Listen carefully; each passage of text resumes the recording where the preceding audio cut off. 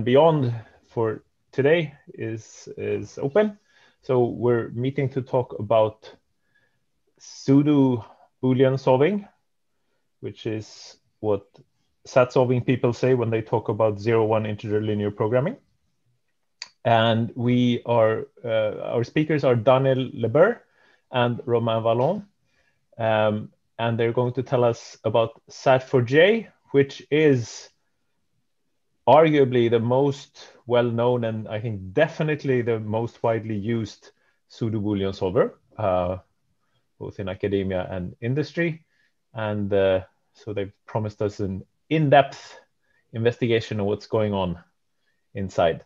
And I think our setup for this week too is um, but the, the speakers will make this clear that I think that there's a intention to have it divided up into two parts where you can leave halfway.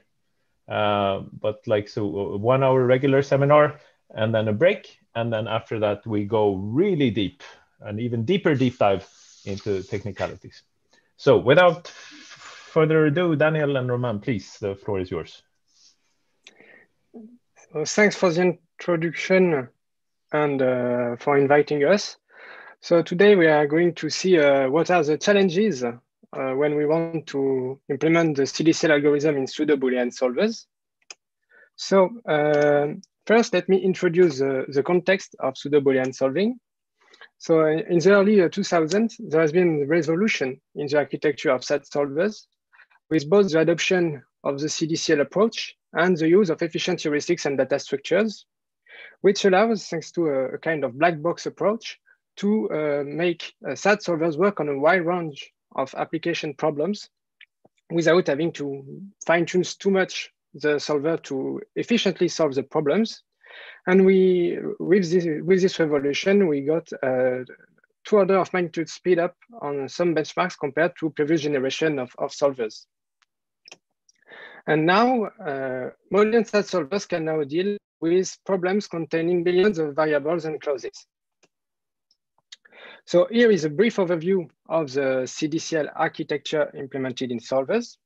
And here we are mostly going to focus on the proof system used by the solver, and more precisely in the conflict uh, analysis implemented in, uh, so in SAT solvers.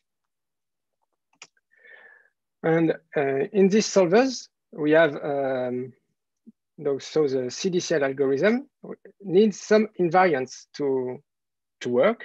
And these invariants in SAT solvers are, that the, are the fact that constraint propagates only once. So basically we have clauses and once every literal but one are falsified, we propagate one literal. And those constraints have a single assertion level, which is the one where all literals but one are falsified. And with uh, when a clause as all this uh, propagates one literal, we say that it is a reason. And sometimes we have conflicts when all literals are falsified. And during the conflict analysis, we combine reason and conflict. And we know in SAT solvers that combining a reason and a conflict will always produce a conflict. And finally, to detect the assertion, so basically uh, when we learn a new constraint, we have a syntactical criterion to detect at which level we should backjump. And we will see that all these invariants will be broken when we consider them in a pseudo-Boolean solvers. And here, uh, the pseudo-Boolean solver we will consider is SAT4J, so an open source um, library for SAT solving in, written in Java and developed since 2004, which supports pseudo-Boolean solving and max-SAT solving. It has native pseudo-Boolean support and implements various uh, proof system to uh, reason with a pseudo-Boolean constraints. And the solver is available at sat4j.org. So now let us define what are pseudo-Boolean constraints. So, and first I, want, I would like to motivate the use of pseudo-Boolean constraints by the fact that um, modern SAT solvers are very efficient in practice, as I said before, but some instances are completely out of reach for SAT solvers and especially because of the weakness of the resolution proof system that is used during conflict analysis. And this is particularly true for instances that require the ability to count, such as pigeonhole principle formulae, we state that you cannot put n pigeons into n minus one holes. And the, here, modern SAT solvers perform poorly if we have more than 20 pigeons. But pseudo-Boolean solver based on cutting planes may solve uh, such instances in linear time. So let us see how we can represent uh, such problem with pseudo-Boolean constraints. And a pseudo-Boolean constraint in general is a constraint of this form, which is a weighted sum of literal, where all coefficients are integers, literals are, uh, li are literals, which means that we have a Boolean variable or its negation with the fact that the negation of a variable is equal to one minus this variable. In the more general way, we have any relational operator here among these five operators here, and the degree of the constraint, which is the um, right-hand side of the constraint here, is also an integer. So for example, we have here uh, a pseudo-Boolean constraint, which is here uh, A, B, C, and D are literals, and we have uh, various kinds of coefficients. And without loss of generality, we are going to consider conjunctions of normalized PB constraints, which are of this form.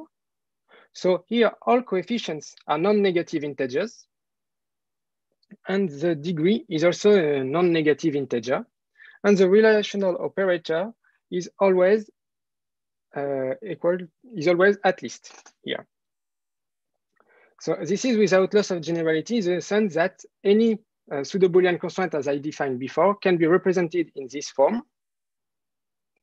So for example, if we get the constraint um, I presented before, we can just rewrite it under this form just by applying basically um, multiplication by minus one to have the right uh, relational operator. And uh, by using the equality uh, not v is equal to one minus v to make sure that all coefficients are positive integers. So there are some fun facts with uh, pseudo-Boolean constraint uh, as this one. For example, here, without any assignment, we can see that this constraint propagates C to true. So indeed, if C is not satisfied, we can see that the maximum sum we can get on the left-hand side would be eight. And since we need at least 10 here, C has indeed to be satisfied to satisfy the constraint. So here we can see that a PB constraint can propagate truth value without any assignment. And basically, a PB constraint can propagate multiple truth value at different decision levels. Since, for instance, here if we satisfy C, it's not enough to satisfy the constraint. So later on, we will need to satisfy another literal that may be propagated. And actually, this constraint here is equivalent to C and the constraint in which C has been satisfied, which may be uh, more easy, uh, uh, easily written as C and A or B. And what is interesting to see here is that, for instance, in this representation, not D, uh, oh, sorry, it's A or not, it should be A or not B actually here. And what we can see is that not D does not appear in this representation. And I will come back to this observation later on in this talk. So let us now consider our uh, pigeonhole principle formula I told you uh, before. So to represent this problem, we will use uh, Boolean variables pij to denote that a pigeon i is put in a, in a hole j. And to state that a pigeon i should be in a, in a hole, we just say that for each pigeon, at, it must be in at least one of the hole j using this constraint here, which is actually equivalent to a clause. And to say that each hole cannot host more than one pigeon, we will use the at most one constraint here for each hole to uh, represent uh, the, this, um, this fact. And then we will uh, be able to normalize it as I presented before. And now let us see how we can prove unsatisfiability on this formula. So first, let's make it by hand uh, with, uh, on, so on this example. So first, as I said, we will normalize the at most one constraints in order to make sure that all constraints are normalized. And then we will just add, if we add all these constraints, so basically by adding constraints, I mean, we add the left-hand side together and the right-hand sides together. And when uh, literal and its negation are present, we, they just cancel out by producing one. And with this addition, we get this constraint here. If we now add the constraint five plus the constraint six, then we get here three greater or equals to four, which is obviously false. And this is here uh, how we prove the unsatisfiability of the pigeonhole uh, print on the pigeonhole formula written using uh, pseudo Boolean constraints. So here I want to stress out that the constraints are indeed um, all pseudo Boolean constraints.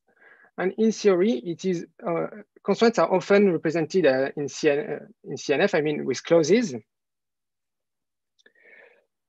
Uh, because we want to, um, to compare the proof system on the same input. So um, and here, from a theory point of view, we do, we do not want encodings. We do not want, uh, well, we want to have the same constraints. And uh, we need somehow to recover uh, the cardinality constraints if we start from the, um, the original clauses. And Daniel will later on talk on how we can recover such constraints. But in practice, the way the constraints are expressed matters in the sense that, for instance, uh, it is easier to read uh, pseudo-Boolean constraints. For instance, the at most one constraint is easier to read than the equivalent conjunction of clauses. And also the number of constraints is, different because we need several clauses to represent the at most one constraint we have. And if we have other constraints that are not clauses, we can use different inference rules. So for instance, using the cutting planes proof system to make the reasoning. And in practice, it is very important to have PB uh, constraints in PB solvers because if uh, PB solver is given a CNF formula as input, it will simply behave as a slow SAT solver because it has many um, data structures to deal with pseudo-Boolean constraints that will not be used in, since we only have clauses here. So let us now see how the solvers actually reason on pseudo-Boolean constants. And in many cases, uh, in particular in the case of SAT4J, the um, proof system that he uses is the one which is known as generalized resolution, which is composed of these two rules here. So the first rule is a cancellation rule, which states that if we have a literal in a constraint and the negation of this literal in another constraint, we can combine these two constraints in order to eliminate the literal L, and this will produce a constant since L plus not L is equal to one. So here what we do is we multiply this constraint by beta, we multiply this constraint by alpha, and the constant we get is this one with the constant produced by the addition of L and not L. And the other rule simply states that if coefficients are greater than the degree, then we can just replace the coefficient by the degree, and this will preserve equivalence. And, and with these two rules here, we can implement a conflict-driven constraint learning algorithm, which will combine reason and conflicts with these tools to derive new constraints. So let us see uh, how it works in, in, this example. So suppose first that we have this assignment. In, uh, so here, red literals means that the literals are falsified, while green literals mean that the literals are satisfied. So if now C is falsified is this constraint here, we can see that not B must be satisfied to satisfy the constraint, since otherwise it only remains three on this side. So not B is propagated here, and we say that this constraint is the reason for not B. But now, if we look at this other constraint, we can see that the left-hand side is only equal to five, while we need six, and it is not possible to have this six here. So this constraint is conflictual. So what we can do here is to perform a cancellation so as to eliminate B. So here is what we here is what we do. So basically here, since uh, the coefficient of node B is six and the coefficient of B is four here, we can just multiply this constraint by two to get 12 for node B, and this constraint by three so that we, can, we get 12 for B, and this will indeed eliminate the coefficient B, and we get the constraint we have below. But now, if we look at the left-hand side, we can see that um, we have 15 here, and it is still possible to have six. So we have in total 21 here. So this constraint is no longer conflicting. So we have broken a CDCL invariant which, which states that when we combine reason and conflicts, we preserve the conflict. So we need to find a way to restore this conflict. And this is achieved, this is achieved by the weakening rule. So this rule allows to remove a literal from a constraint by decreasing the degree of this constraint. So for instance here, if we want to eliminate L, we just remove it and decrease the degree by the coefficient of L. We can also partially weaken the literal by decreasing, uh, sorry, I have an example for this. So um, here, if we want to weaken C away, we just decrease the uh, degree by three, and we get this constraint here. And for uh, partial weakening, we can just decrease the coefficient and the degree by the same amount. So here, for instance, we decrease the, the coefficient of L by K and the degree. And here, we can decrease the coefficient of B by two. And we, by, we can also decrease the, uh, the degree by two to get this constraint, which is entailed by the original constraint. So this rule can be applied, and we will see how, later how, to um, preserve conflicts. But there are actually many different ways to apply uh, it to preserve conflicts. So the original approach is to just weaken away literals from the reason, and we repeat the operation until we have the conflict, we get a conflicting constraint thanks to the application of this saturation rule. Indeed, if we just weaken away literals in itself, it will not modify the conflict status of the constraint. It, it will be the, actually the application of the saturation rule that will guarantee to derive a conflicting constraint.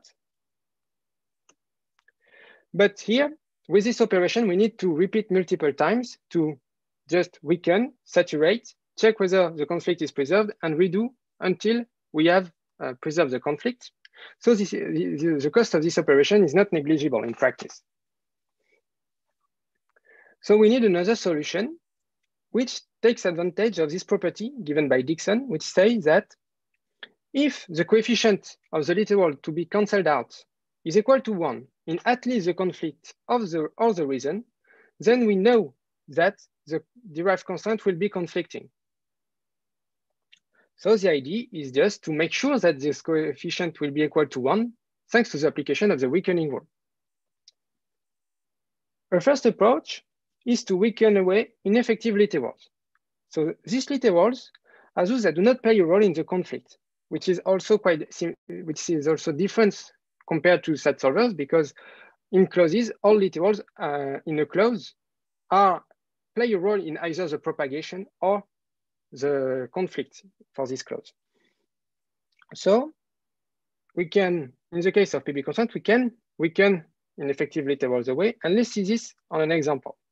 So let us suppose that we have this constraint under this current partial assignment. So here we can see that node B has to be propagated because otherwise we are, will only have uh, D and E that remain and they will not be able with the uh, node A already satisfied to produce the six we want. But if we need to propagate uh, node B, it's really because of falsified literals actually, because satisfied literals do not impact the fact that the constraint is conflicting or not. It's really falsified literals. So here the idea is to weaken away all ineffective literals and to apply the saturation rule. And this will gu guarantee that the coefficient of the literal, the propagated literal here, which is not B, will be one, since actually using this approach will always derive a clause. And there is also uh, something that is quite interesting is that actually some falsified literals may also be ineffective. So for instance, if we have this conflicting constraint in which all literals are falsified, then we can choose one of the literals that has coefficient one. So for instance, let's say C, and this literal is, a, is ineffective. So we can also have chosen B or F. So it's it depends on what, um, maybe we can use heuristics to choose um, which literals to weaken away. And here indeed, if we weaken C away, we get this clause, which is still conflicting. And this approach is actually equivalent to the, the approach implemented in solvers such as Satire or SAT4j resolution, which lazily infer clauses to use a resolution-based reasoning during conflict analysis instead of a cutting planes uh, reasoning. But it is actually quite slower because uh, the way it is computed is not the same. Roman, a question? Yes. Uh, so if you go back to uh, this example, yeah, the, the, so the, the fact that you can remove C and still have a conflict, uh, do you is there like did you have some algorithmic way of deciding this or you, are just illustrating that we could have done this and you leave open like what would be the procedure for identifying such so uh, basically uh, the idea is that uh, we can uh, we can in this case if its coefficient is strictly less than the degree Mm. Okay. And it will, uh, so basically we just, algorithmically speaking, we uh, weaken away all literals that are not falsified.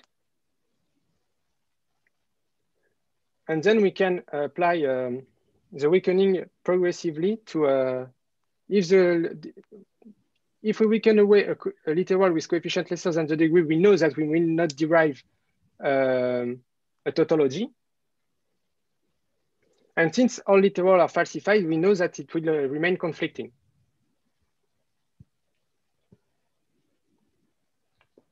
I see, because you're saying, yeah.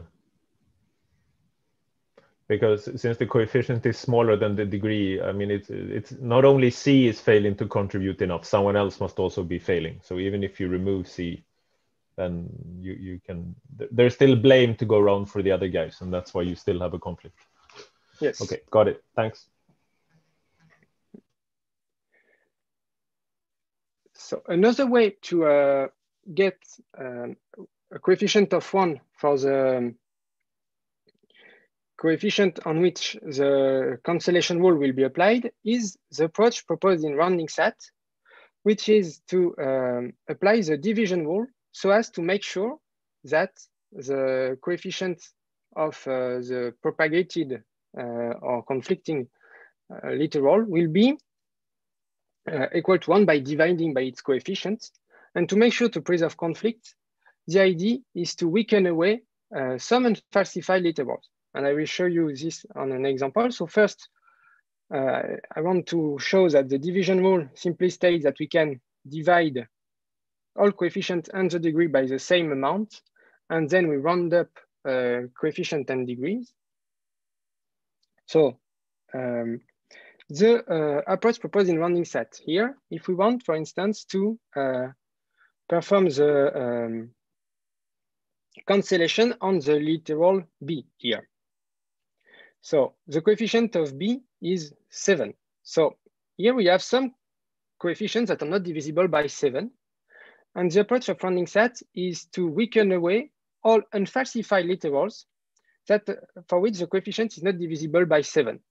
So here, the idea is to weaken away A, since 8 is not divisible by 7, and F. And we will get this constraint here.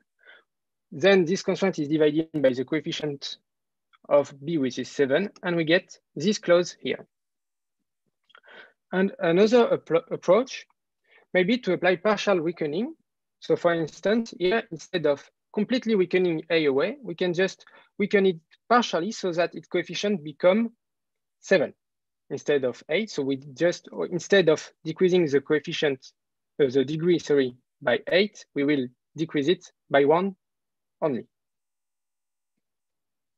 So actually, there are many different uh, variants of this strategy because, as I said, the idea of all these strategies is to have the coefficient of the literal on which the cancellation rule is applied equal to one in at least one of the constants.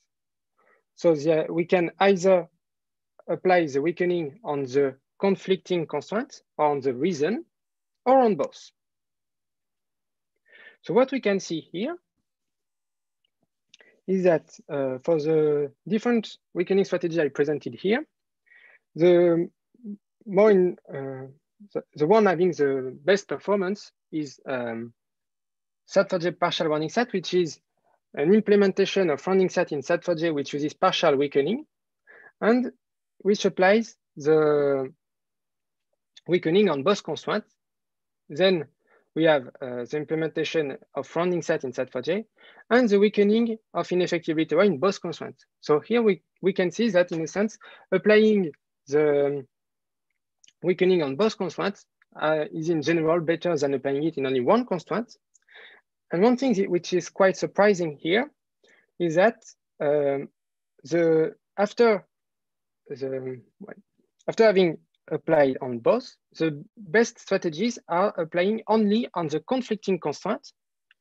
And this is surprising because since the early development of PB solvers, the weakening has only been applied on the reason. And here this experiment suggests that it is actually better to do this on the conflict. So, and now that we have uh, thanks to the weakening rule, we, are, we know that we are, can preserve conflicts and restore this invariant. But we need now to know when to stop the analysis. Oh, sorry, when, just another, so, yes. sorry for being slow. Another question if you go back. So the, the if, if we look at these plots, the point is that for all of these solvers, you're taking one, one rule, one strategy, and you're using it consistently. Yes. Uh, yes and then you have the virtual best solver that is beating yes. everything by quite a bit. So yes. just to point out, if we for the I, am thinking for the Simons program as a like a, a research question is like how if, if, some additivity could help close the gap between the VBS and all these fixed alternatives, right? Mm. Yes, and maybe one thing we thought about is maybe to to try to use some algorithm selection techniques to uh, try to combine these strategies by trying to identify which seems to be the best and to maybe combine the best of all strategies to reach the VBS. Yeah.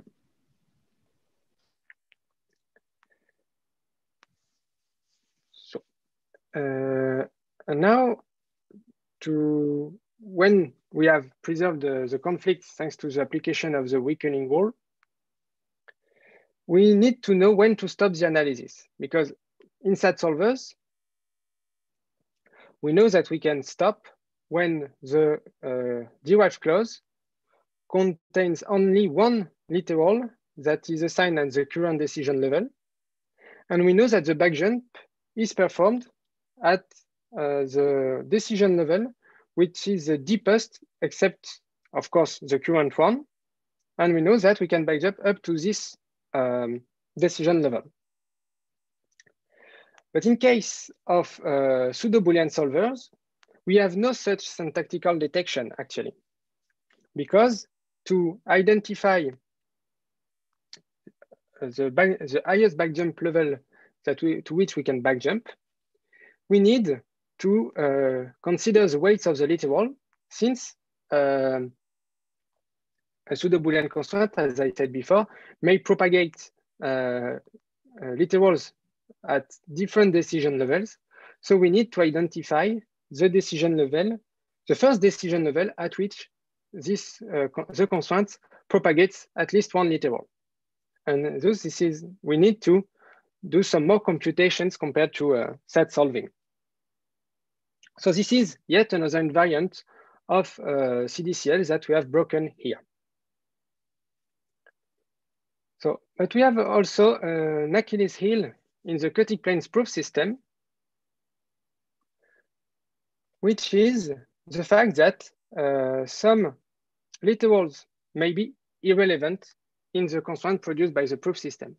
So here, for instance, uh, if we want to cancel D out in these two uh, constraints, we will just uh, add them since the coefficient is already the same. And we get this constraint here. And we can see that uh, the literal C is irrelevant in the sense that its truth value does not have an impact on the truth value of uh, the of the constraint. And actually, if uh, you recall the one of my first examples in which we have uh, rewritten um, a constraint, then one literal had disappeared when we uh, had the representation C or A and not B. And this is typically the case when we have irrelevant literals in a pseudo-Boolean constraint. So uh, this is what I said about uh, irrelevant uh, literals that does not have an impact on the truth value of the constraint. But what is interesting here is that irrelevant literal may be removed from the constraint while preserving equivalence. So here, C can simply be removed and we will have equivalence. So we made some experiments and uh, found out that many relevant literals are actually produced uh, by SAT4J in um, many uh, different uh, families of benchmarks. So here we have um, box plots with states for each family of instances, how many irrelevant literals were produced. So for each box, we have the minimum and maximum, which are presented here. And the, the horizontal bars here are the um, so the as um, the quartile of the distribution and the horizontal bar in the middle is the median. So we can see that we can have many irrelevant literals produced during conflict analysis and sometimes more than 10,000, for instance, in the case of uh, Euclid PB benchmarks. So irrelevant literals are not only uh, theoretic problems, they are indeed produced in PB solvers. But the problem is really when these literals become artificially relevant. So let's see what it means on this example here. We have, um, the, so here the constraint I uh, presented before with uh, the literal C, which is irrelevant. And we have here this other constraint in which C is also irrelevant for similar reasons as for this constraint. But if we combine these two constraints to eliminate the literal A, we get this constraint here, which is equivalent to this clause. And of course, this is, since this is a clause, C is relevant since in all uh, tautological non-tautological clauses, uh, non sorry, since for non-tautological clauses, all literals are always uh, relevant. But here, observe that if the irrelevant literal C had been removed in the original constraint, it would not appear in the derived constraint here. So we would get the clause B or D instead of uh, the clause B or C or D, which is stronger than the clause we derived, which means that because of irrelevant literals, we can produce weaker constraints during conflict analysis. But the problem is that detecting whether a literal is relevant is NP-hard. So we can not just say, okay, we, maybe some literals will be irrelevant, we will remove them, and uh, we will have a stronger constraint. No, this, this is more complicated. So we propose an incomplete algorithm to remove uh, irrelevant literals from the constraint. And to this end, we will use this reduction to the subset sum problem. So here we have that literal L is irrelevant in the constraint here if this equality has no solution for k in 1 to alpha. So let's uh, me let me explain this a little bit. So intuitively, if we have uh, if uh, here we have indeed a solution to this equality. This means that this solution will not in itself be a solution to this constraint here because the, we do not have delta, we have less than delta since we, since we have delta minus k. But if we uh, satisfy L at this point, then we will go from a model, from a counter model sorry, of the constraint to a model of the constraint, since alpha plus delta minus k because of this interval will be greater than delta. So the, the literal will be relevant. So this is the intuition behind uh, this reduction here. So here, for instance, C, C is irrelevant in this constraint because it is not possible to have one for this equality and two for this equality. So we can with this reduction to subset sum, apply the classical dynamic programming algorithm to detect whether a literal is irrelevant or not. And um, more interestingly, since this algorithm compute all possible sums, we will know in, this, in a single run of the algorithm whether there exists a solution for one of the equalities to consider. And this will be in pseudo-polynomial time thanks to the dynamic programming algorithm. The problem with this algorithm is that it depends on the value of the degree of the constraint. And in practice, uh, the degree may be very big in the derived PB constraint. So it would be not efficient enough to simply solve subset sum on the constraint. So we need an incomplete approach to solve uh, these subset sum instances. And to this end, we will use um, a modulo approach because what we want to know is to make sure that a literal is irrelevant before removing it. So basically what we want is to make sure that the literal we remove are irrelevant. We those allow to consider as relevant literals that are irrelevant because what this allows to simply remove literals without considering its coefficient as I represent in uh, the next slide. So we can allow to miss irrelevant literals and this can be applied thanks to an uh, application of some algorithm modulo a fixed number. So basically here, instead of computing the subset sum, the, the possible sums, uh, the real possible sums, we will compute them modulo the chosen number. And the intuition is that if uh, the sum exists, then it will also exist modulo. And similarly, if no sum exists, it will not exist modulo. So if we cannot find the solution to the subset sum problem modulo the chosen number, then we are sure that the literal will be irrelevant.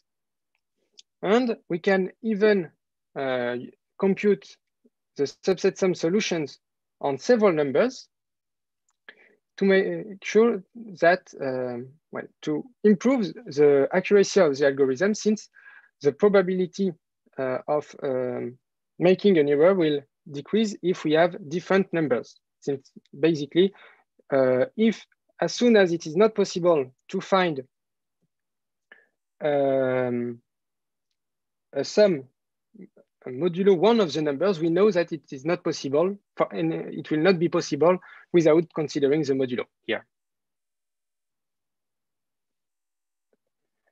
So now, when we know that a literal is irrelevant, we can just remove it while preserving equivalence since the literal are irrelevant. And there are two ways to do so. So here, if we consider this example, we can just locally assign the literal C to uh, zero, since we know that it is irrelevant. And if we do, and if we do so, we just actually remove it from the constraint, and we get this constraint here. We can also assign it to one, which is actually equivalent to the weakening approach, to get this constraint here, which is which will actually, because of the saturation, will be equivalent to A or B. And we can see that this constraint is also equivalent to A or B. So here there is no difference. But in practice, there may be some difference and some constraint, it may be preferable to use one of the approach or another one.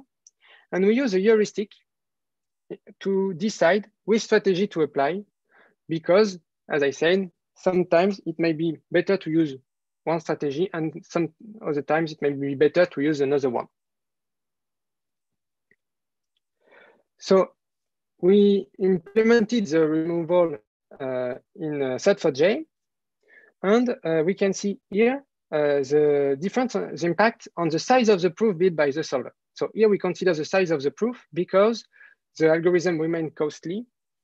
So uh, we and we wanted to really evaluate the impact on, of the relevant literals on the strength of the reasoning made by the solver. So we can see that there is no clear difference because there are points over and below and they are, they are quite uh, equally uh, divided into be, uh, below and above the, the red line here. But what is interesting here is this particular family, which has vertex cover instances. And we will consider them uh, more specifically. So what we did here is that we generated more instances of this family to see whether uh, the trend is confirmed. And indeed, we can see that uh, the number of um, cancellation steps applied during conflict analysis is exponentially smaller when we remove irrelevant literals. And actually, if we look at the behavior of uh, SAT4J on this family, we can see that the first constant learned by the solver has this form here, where n is a scale parameter of uh, the instance. And uh, what we can see is that all literals x1 to xn minus 1 are irrelevant since they are not enough to uh, make this side greater than n, and x, uh, if x is satisfied, it obviously satisfies the constraint. And actually, this constraint is equivalent to the unit clause x. And what is also interesting on this family is that no other irrelevant literals are detected in the other constraint derived by SAT4J, which means that even few irrelevant literals produced at the very beginning of the exploration of the search space may lead to the prediction of an exponentially larger proof.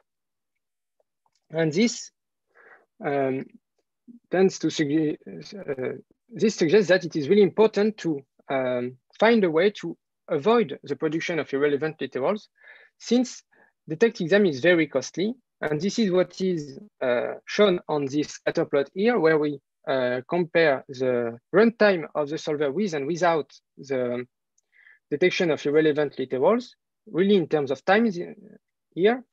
And we can see that the solver is much slower in general when this uh, uh, the removal of the relevant literal is activated because of the cost of the algorithm. So here we, we instead of removing them, it would be very interesting to avoid producing them in the first place.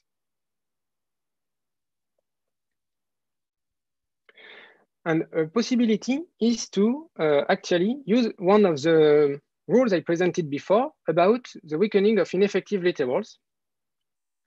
So recall that, for instance, we have ineffective literals here because here they are not um, falsified. And here this one has a coefficient that is uh, lower than the degree. So in this case, we can consider them as locally irrelevant in the sense that if we uh, simplify uh, the constraint here, for instance, by saying that, okay, not A is satisfied, so we can um, say that this is equal to three, so we move it to the right-hand side and we get three here. This literal is simply removed, it is not, it is not uh, falsified. It is falsified, sorry.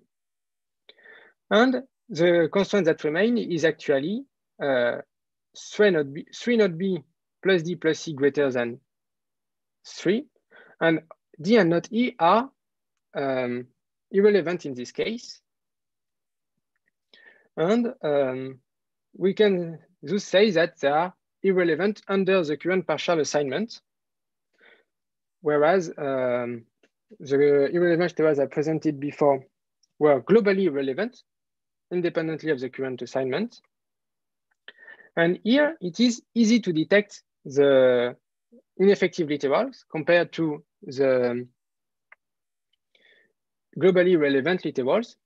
So we can make sure that irrelevant literals are removed by the weakening of ineffective literals. However, here we are we we must apply the weakening rule, whereas for irrelevant literal, we can just we could just simply remove literals from the constraint. Because here we are not sure that uh, the literals are irrelevant. And indeed, for instance, not A, D, and E are relevant in the constraint. They are only ineffective. So we, this is why we need the weakening rule instead of the simple removal.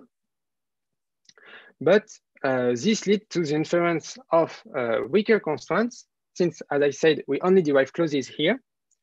And the main idea of removing irrelevant literals in, was in the first place to um, have stronger constraints. So here we, we need to find uh, just middle between removing um, all irrelevant literals and removing more than the relevant literals, which is too um, uh, it's too much uh, in terms of um, maintaining the strength, if we want to maintain the strength of the constraints. Okay, so now we've seen that we need to um, adapt some things if we want to um, the, um, our, the cutting planes proof system to fit in the CDCL architecture. But we can also um, further adapt PB solvers to the CDCL architecture.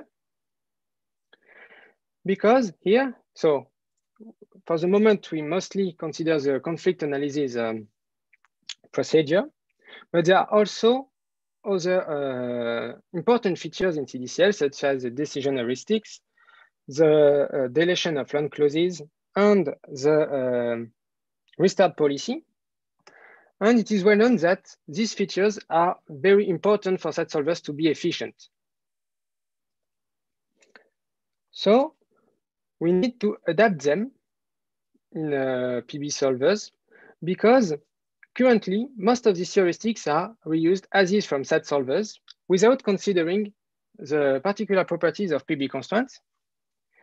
And what we found out is that if we consider the size of the coefficients or the current partial assignment when computing the heuristics or uh, choosing the which constraint to delete and when to restart, then we can significantly improve the solver and in particular SAT4J in this case.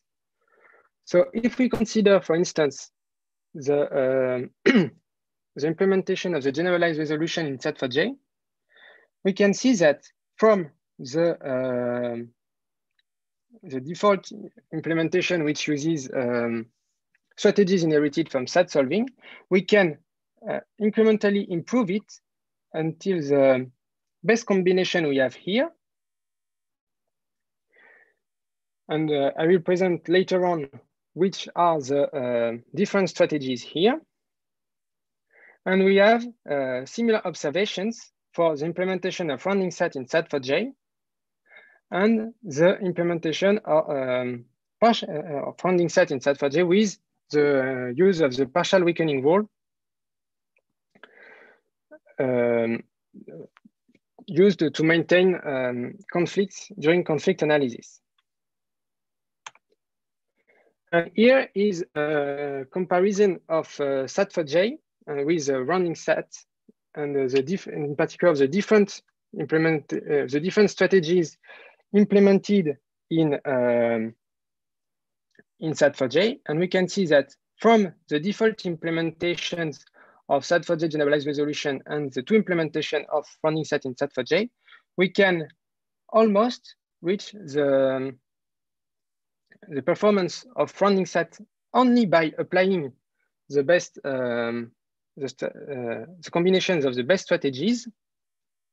And thanks to, if we, in addition to this, if we uh, compute, uh, if we compute, no, if we use um, uh, both version of SAT4J which combine the in parallel the cutting, cutting planes based inference and resolution based inference, we have quite competitive results in SAT4J here, both because of uh, the resolution proof system, which is um, efficient, which remains efficient on some benchmarks, and thanks to the uh, different uh, uh, adaptations of the strategies I just I presented briefly in the previous slide. So that's it for the first part of this presentation. So if you have any question, uh, please let me know.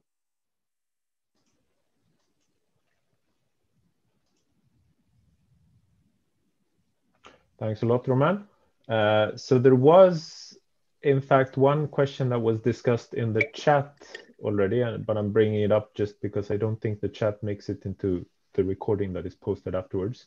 So Mate Soos asked, has it been tried to use statistics and machine learning uh, to supervise learn the best strategy uh, to get closer to VBS? So this, he was asking long ago in the context of these, um, I think in, in the context of these different weakening strategies. Uh, but of course, you could also consider it in, in the context of this bumping also. And uh, Daniel Le Berre asked that this has not been done. Um, and I guess, yeah, so, so I don't know if you want to add anything to this while we're uh, thinking about uh, other questions to ask you. Uh, well, actually, we have some um, we have as perspectives the idea of uh, using uh, machine learning to uh, try to find uh, the best strategies. Uh, maybe using, uh, as I said earlier, automatic algorithm configuration or other other strategies that we have in mind. But this is on a, on our to-do list, say.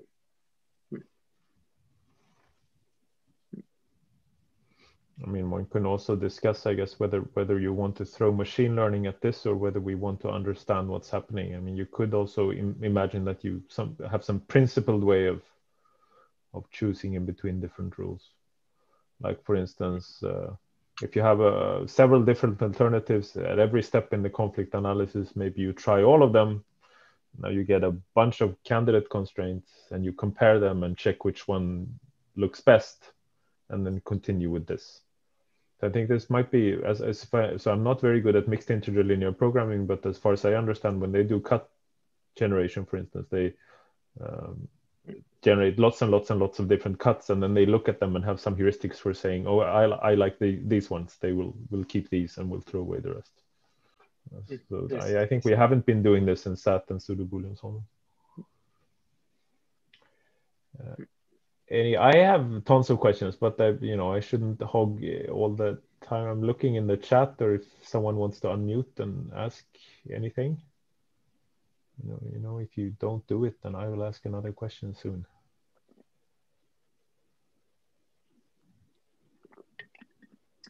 Okay so maybe while while people are thinking another question if you go back to the plot that you just had do you yeah. Do you know what this i mean it's it's a very uh, flattering picture i guess for RoundingSat so i shouldn't complain. But i'm wondering th this might also be because you're measuring running time. So I wonder if would you have the same, the same plot, but but using some proxy for for you know the quality of the proof search, such as if you if you plotted number of conflicts instead, would it look the same, or would the solvers be much much much closer? Uh, well, I, I'm not sure I made it for all experiments. I made some uh, uh, at some point, but I'm not sure. I, I think I made it for to compare different variants in SAT4j, but not with rounding sets. Uh, during uh, well while I was uh, making these experiments, but uh, it should not be too uh, hard to uh, to draw other plots. I still have all all logs, so it it should be easily easy to to draw the other plots and check this. Because I'm uh, yeah yeah I mean it, it's mm. like it would be because it, it's it I mean it could still be that maybe for some reason RoundingSat is really good, or it could be that no no if you're if if they would be like if you would have a level playing field then actually these latest uh, optimizations of yours are actually way better. Yeah so this is someone is asking uh, how much Paul Beame is, is asking how much of the difference is, is Java versus C++, Java versus C++, and Daniel Le Berre is asking probably a factor three, four. Um, yeah, well, maybe I can comment on this. In uh, 2011, uh, there was a version of Minisat written by Carsten Sinz uh, called JMinisat, and uh, that was reproducing exactly the, the behavior of Minisat, and there was a factor of 3.25 or something like this uh, between uh, JMinisat and Minisat. So, but uh, it's complicated to, to, say that because there are things you cannot really do uh, in Java that you can do in, in C and C++. So there are uh, features that Armin presented uh, in his talk the first week that are hardly done. I don't know how to do them on with Java. So, I mean, uh, you have to pay a price, but there is also the just-in-time compiler that also, uh, on some cases, uh, also does a pretty good job. So, well, it's um, uh, 10, well, okay. Uh, it, it, yeah, there are cases, uh, clearly SAT4J is not for there for speed, right? But, um, well, I mean, so it's it's not, I, I think it's, it's quite okay, uh, and uh, maybe something we, we should mention is, so uh, there is a difference between RoundingSat one and RoundingSat two based on the use of arbitrary um, precision arithmetic. And I, I, think this is something we have in Java. We know that it's slow, but um, this is what we use. And uh, so uh, SAT4j could be more efficient using uh, uh, just primitive types, but then there would be issues with with overflows. So uh, yeah, it's a trade-off. Yeah, but you would see some. I mean, you'd you'd eliminate you you'd get a some feeling for what's going on by just comparing conflict counts because that's that's somehow a proxy or or you know that like the total sum of the length of all conflict analyses or something that would tell you something. So there are uh, a number of comments in the chat that I'm again reading out because I don't think they make it onto the recording otherwise. Um, regarding the speed up from Java to C++, uh, Ciaran McCreesh is saying that for subgraph solving, uh, which is more bit parallel, the factor is over 10.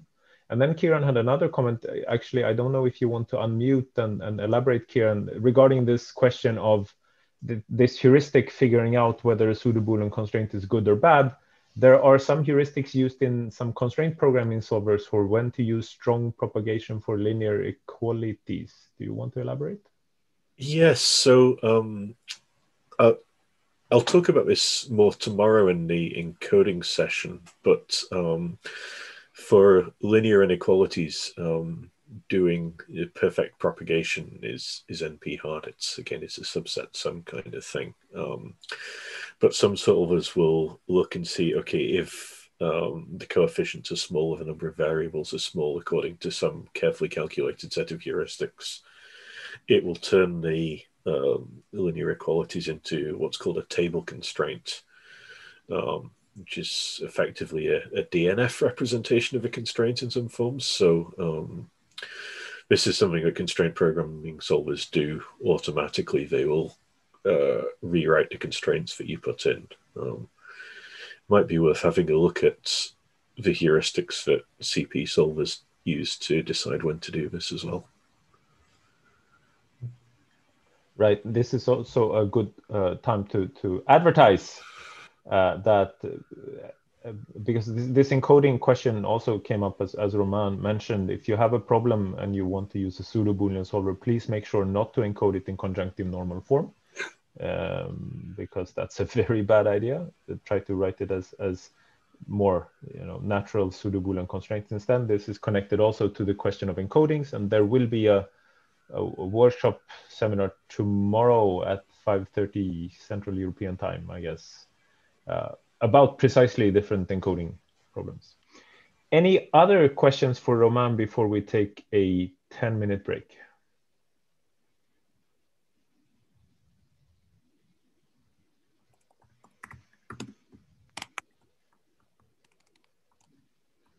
So I think not. Then why don't we? So so it's now three minutes, 33 minutes past the hour in whatever time zone you're in. Except if you're in India, I guess then it's three minutes past the full hour. So you know, even you're trying to be generic and still you can't be generic enough. Uh, so let's uh, reconvene in 10 minutes from now for those of us who wants to go even deeper into the pseudo Boolean solving deep dive. Okay. But for now, we're taking a break. Thank you.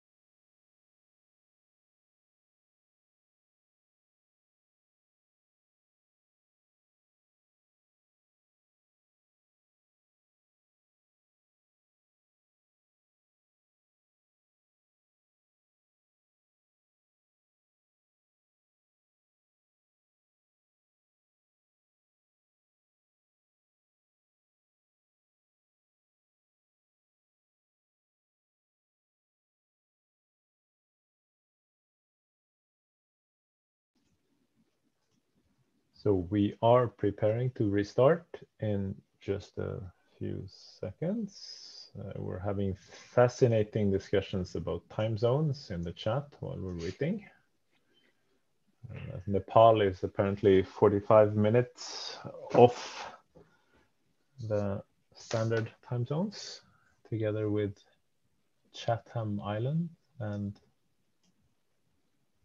Austra Australian Central Western Time. There you go. Um, any other questions that have arisen while we were having the break before we let Daniel and Romain loose again? Feel free to unmute, uh, especially now, I think during the second half, people who, and if you want to ask a question and you can't because you're a um, an attendee rather than a panelist, then there's a way of promoting you so that you can unmute and speak. Just send a message in the chat and we'll take care of it in no time. But I see no questions, so I guess, Daniel, that means it's over to you again. Okay, so um, let's now make a deeper dive into Sat4j.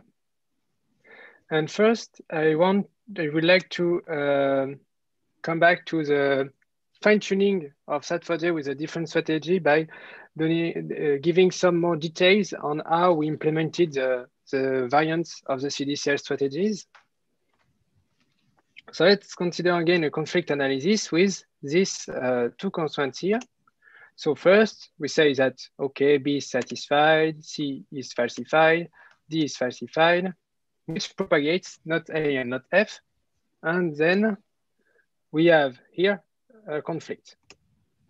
So we apply the cancellation rule to derive a new constraint. And here this constraint is learned because if we uh, come back to uh, decision level here two, we can see that uh, we propagate uh, A here. Yes, we propagate A at this point.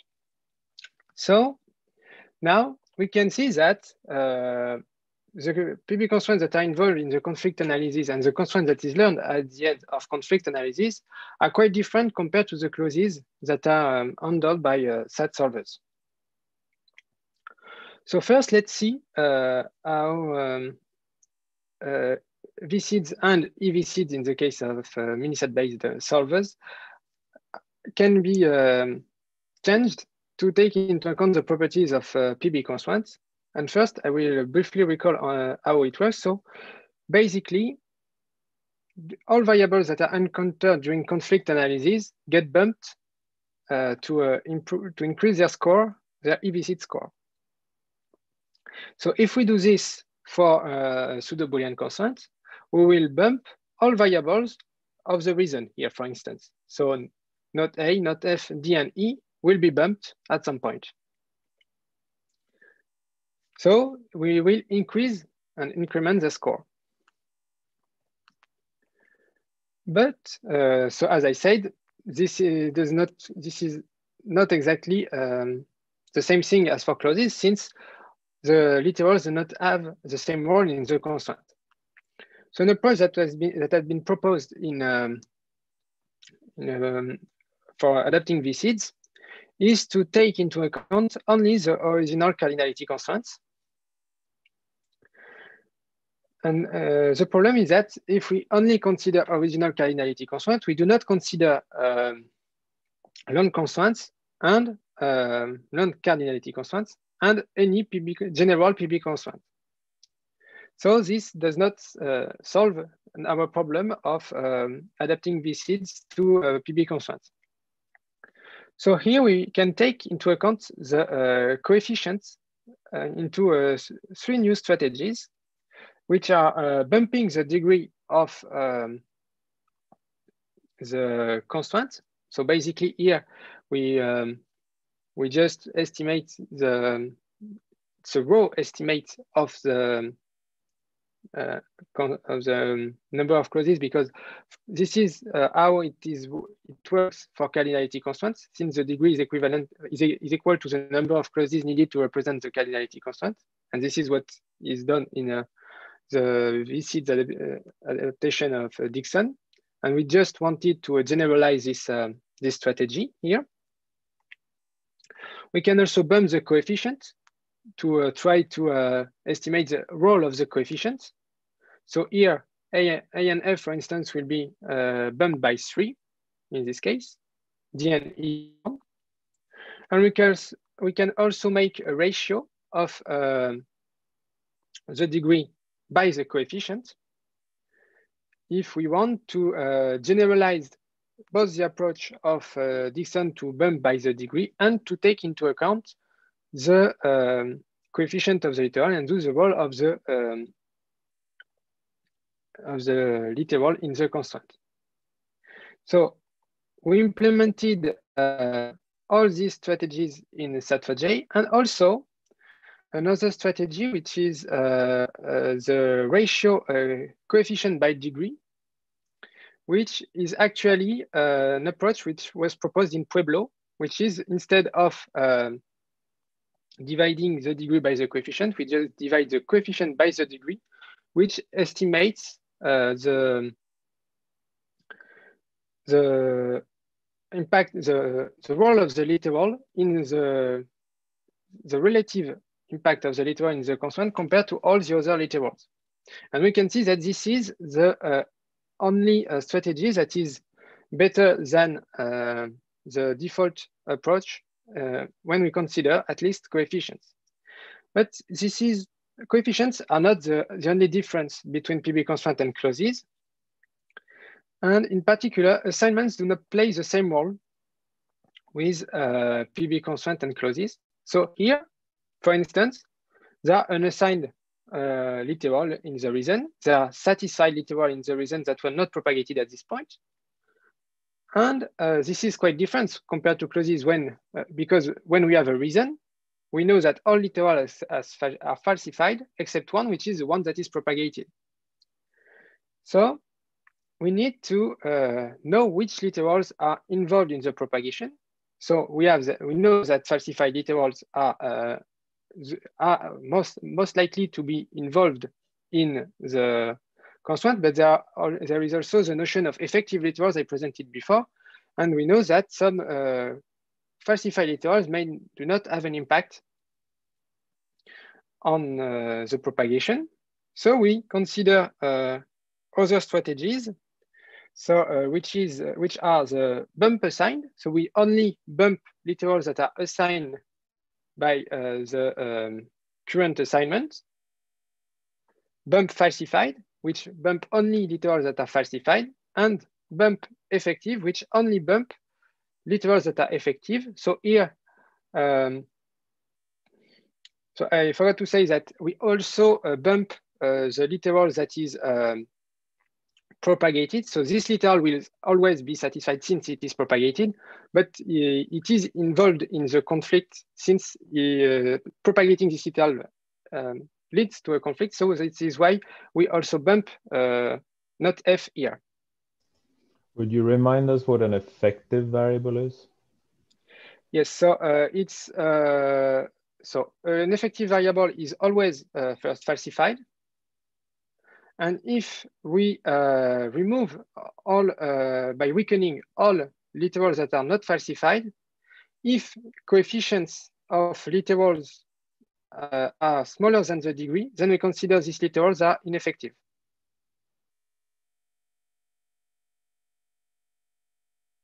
So uh, stated uh, otherwise, uh, ineffective literals are literal for which if we weaken this literals away, the conflict is preserved or the propagation is preserved here. So because the, the intuition behind this is that we want to uh, bump really the literals that are involved in the conflict and effective literal are really those that are involved in the conflict.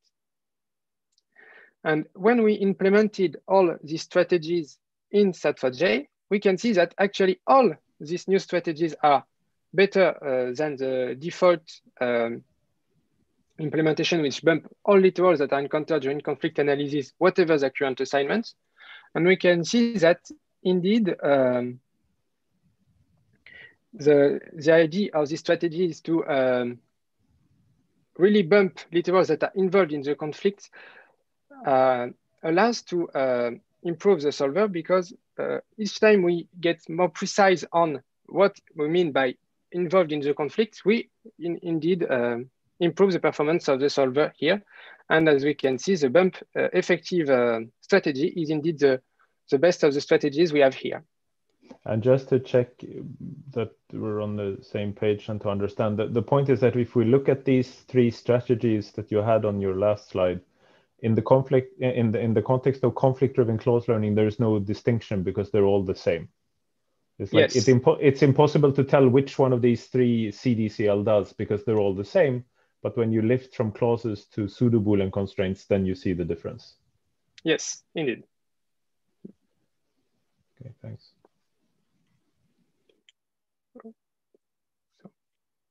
So another way to adapt uh, classical CDCL strategies in pseudo Boolean solvers is to consider the measure for qual the quality of learned constraints. So basically, in SAT solvers, uh, at some point we need to delete clauses because uh, if we have too many uh, learned clauses, then it will slow down unit propagation and use a lot of memory. And uh, we need uh, to uh, remove some of them. And to choose which to remove, we need a quality measure. And this quality measure may also be used to uh, trigger restarts as proposed in glucose, for instance. Uh, but um, once again, if we use the quality measure used in SAT solvers, they do not consider the properties of uh, PB constraints, and we can adapt them to um, better measure the, the, quality of learned PB constraints. So first, we have the size of the clauses which is a naive quality measure because the longer this clause, the lower its strength, especially from a unit propagation uh, viewpoint, because we need to have many uh, literals falsified before the constraint propagates something. But this is not the case actually uh, for PB constraints, because as I said, we may have many literals, but one that is propagated immediately without making any assignment. So uh, the size does not reflect its propagation power. And uh, this is because actually the size of PB constraints also takes into account the coefficients that appear in this uh, constraints. So here, for instance, we have that uh, there are different coefficients. Uh, so we need to take them into account and they may also become very big also. So this is uh, another um, point to be uh, considered because if coefficients become very big, we need to use arbitrary precision encodings instead of uh, fixed precision encodings. And the, we need to perform more complicated arithmetic operations because they are not executed directly by the processor, but we need uh, algorithms to perform these operations. So we also do not want to have uh, coefficients with big coefficients. So a possibility is to consider uh, constraint with big coefficients of bad quality.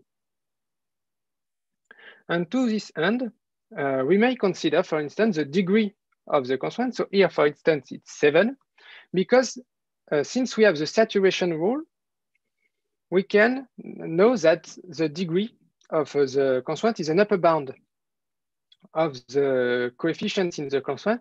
So with only the degree, we can evaluate the size of the coefficients in the, uh, in the constraints. And we can either consider the U as a quality measure or the size in terms of number of bits required to represent it to measure the quality of the constraint. We can also uh, uh, generalize the LBD measure uh, of uh, clauses to uh, PB constraints uh, so here, the idea is to consider uh, the number of decision levels that appear in a clause. The problem is that uh, in uh, if we look at this constraint, for instance, there, there is a literal that is unassigned. So what is its decision level? So we need to, to take this into account to define an LBD measure for PB constraints. And also there are satisfied literals whereas in, when we consider LBD, we measure the, we either measure it on conflicting constraint or constraints that propagate, depending on whether the constraint is learned or uh, is used as a reason again. And in this case, there is only um, one literal that is, um, at most one literal that is satisfied, which is the one that is propagated. And if it is propagated, it means also that uh, there is a falsified literal at the same decision level in this constraint. So we need to take this into account in some way. And there are uh, many different, so the, uh, it should be five here because I added uh, one more after this. So um, the different uh, LBD measures, maybe the LBD computed over assigned literals. So we do not uh, take into account literals that are unassigned because there is no decision level for such literals. The LBD-S measure uh, works similarly, but in, instead of ignoring unassigned literals, we say that, okay, these literals are assigned at some decision level that does not exist, but we consider this as a same decision level for all uh, literals. The LBDD for different, yes, it's uh, we consider uh, that all unassigned literals are assigned at a different decision level. So we count all unassigned literals and we add this to the LBDA. And then we compute either the LBD over falsified literals or over effective literals to take into account um, the fact that these literals are um, more involved in the conflict or the propagation. So with this uh, new uh, strategy, so uh, the new definitions of LBD for PB constraint and the quality measures based on the size of coefficients, we can define um, new uh, deletion strategies for uh, learned constraints. Uh, because as for SAT solvers, PB, PB solvers must delete constraints, but this is not as needed, let's say, as um, for SAT solvers, at least in SAT4J, because uh, cutting planes-based inference is much, is much slower than uh, resolution inference. So the solver, in a sense, learns less constraints, but there are, as a, since one constraint is equivalent to many clauses in general, this kind of uh, compensates the fact that we learn few constraints. But since we learn a few constraints, we do not, uh, there is less um, impact of many constraints on the uh, efficiency of the solver. Uh, but still, we implement uh, the learned constraint deletion to based on the different quality measures I presented before. So based on the different LBD measures and the, the degree of the constraint. And we also use the quality measures as um, a restart policy based on uh, the adaptive restart proposed in glucose, which evaluates the quality of the recently learned constraints. So here, uh, if the constraints uh, that are learned more recently are of poor quality compared of all the other constraints that have been learned, then we, we perform a restart. And once again, we use the different quality measures to uh, trigger restarts here. So we can see that for deletion, there is not a big impact. Uh, still, uh, it's uh, all are better than the default, but to a little extent. And quite interestingly, uh, doing no deletion at all is uh, better than uh, deleting based on the activity of the constraint as in Minisat, which is the default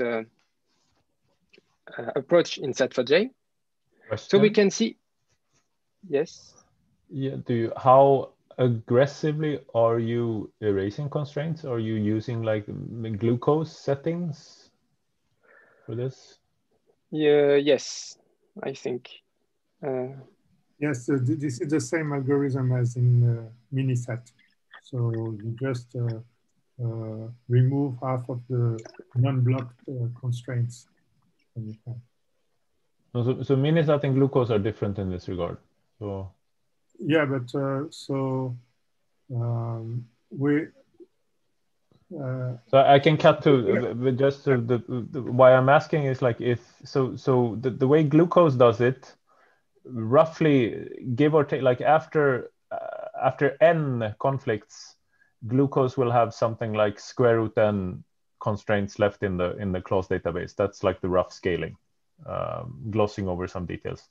Uh, now, if actually not deleting clauses at all might be competitive, then this sort of raises the question, well, you could interpolate between aggressive deletion and less aggressive deletion. So maybe there's a like a curve hiding there that will go much further to the right. But, but this, I guess, this would be a topic for further future exploration.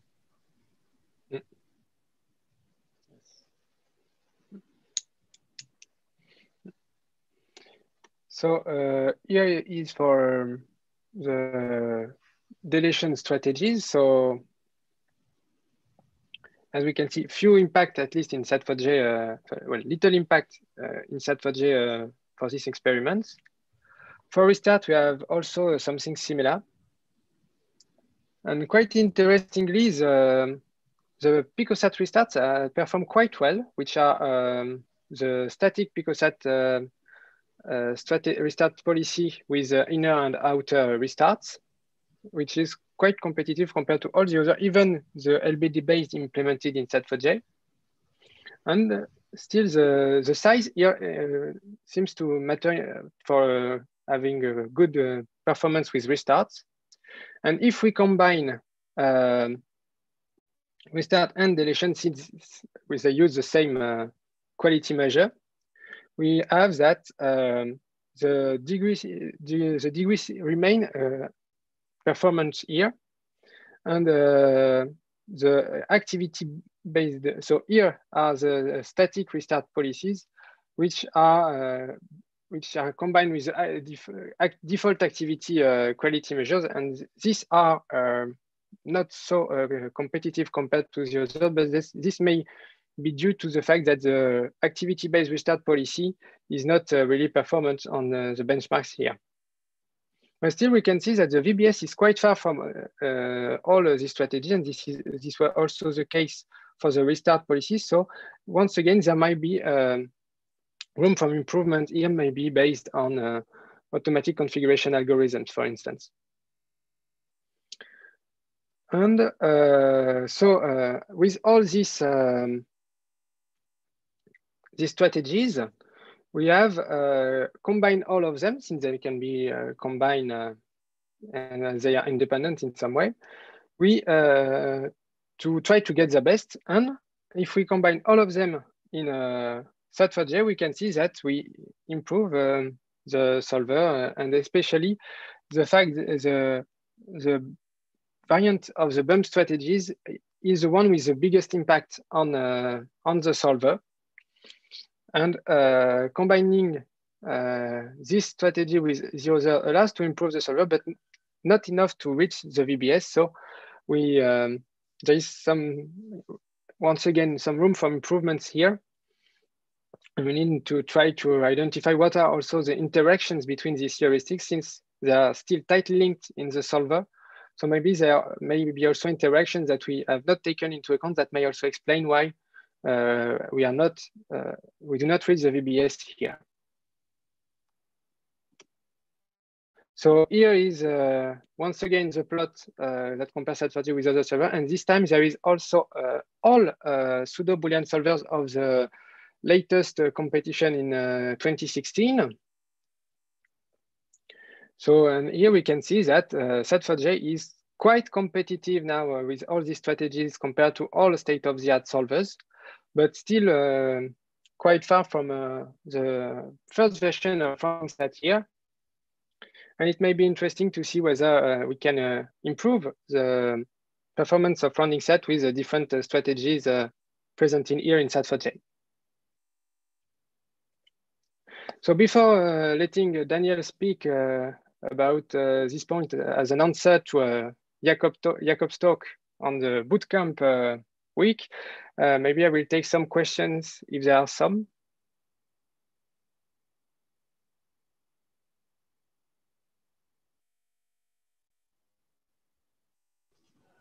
So there is some chat activity going on, which I will read out. So it looks like so. So there are two differences from that you could have from from with with regard to minisat and glucose when it comes to constraint deletion. But it seems like the number of constraints that are kept is roughly as in glucose. It should be squaring like square root n. But but Daniel points out that the selection has been done on activity and not on LBD based measures.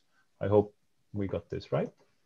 Yeah. Uh, so th there are many different strategies in uh, uh, lambda plus strategies in SAT4J. And uh, so for, for us, it's a glucose if it's based on LBD. And uh, then we have inherited the, the other one from activity from Minisat. So I don't think, uh, I don't remember that. I mean, this has been more than 12 years ago, but uh, I think this is really the, the classical activity uh, relation of Minisat that we have for the so I think that very I, I, shouldn't. It's very dangerous to answer Daniel when it comes to like you know sat solving. I'll I'll make a fool out of myself immediately, uh, but I'll try anyway.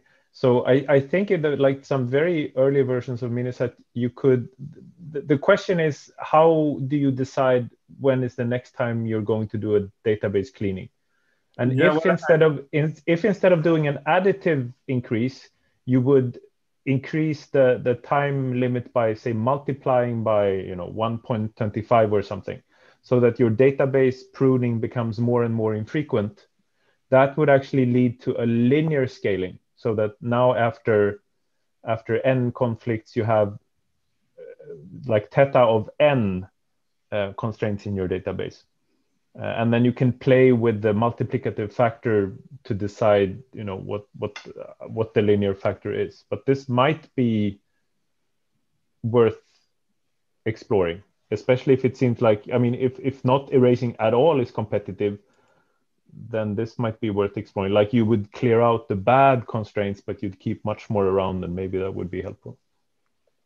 Yeah, yeah. Well, we we have many different ones because we we even have a. Uh, so typically we, are, we have what we call a timer that will just uh, look at uh, how much memory you have or other things. So well, we, we can we can check and we can discuss this uh, no problem. Uh, should I talk about any other questions or? Yeah, that's what I wanted. So I don't see anything in the chat.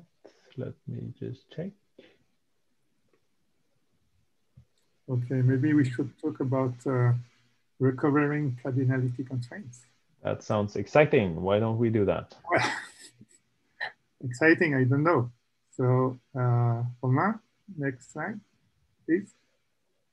Um, okay, so one of the of, of, the issue actually we we have uh, with well, with SAT4J and with many other uh, systems is that if you just uh, uh, try to solve, uh, let's say, the pigeonhole on, on a CNF, it will just not work. And, um, and so th th this is really uh, painful because even people uh, trying to, to play with toy example will probably um, find the, the clausal representation. And so th there is that issue that okay, we, we need to, it would be nice uh, because uh, uh, a human can do it, that uh, a solver can just uh, figure out from the CNF uh, how to, to prove efficiently the thing. so, so if we go back to the first example that Romain showed you about um, the, what we call the human proof for, for pigeonhole, um, actually, what you, you see that now you do not have really the cardinality constraints. What you have is a, cl a clausal representation of the cardinality constraints. So for, for, for the cardinality constraints, uh, P11 plus P21 plus uh, P31 less or equal to one, actually you have three clauses uh, for A, for B, and for C. And so what is really, so what is really the input you should, able, uh, you should be able to deal with should be those clauses. And actually, the first step uh, you, you have to do uh, with those clauses is to sum up the, the three uh, clauses to get uh, a pseudo-Boolean constraint. And that pseudo-Boolean constraint will get uh, two literals uh, for P11, for P21, or for P31.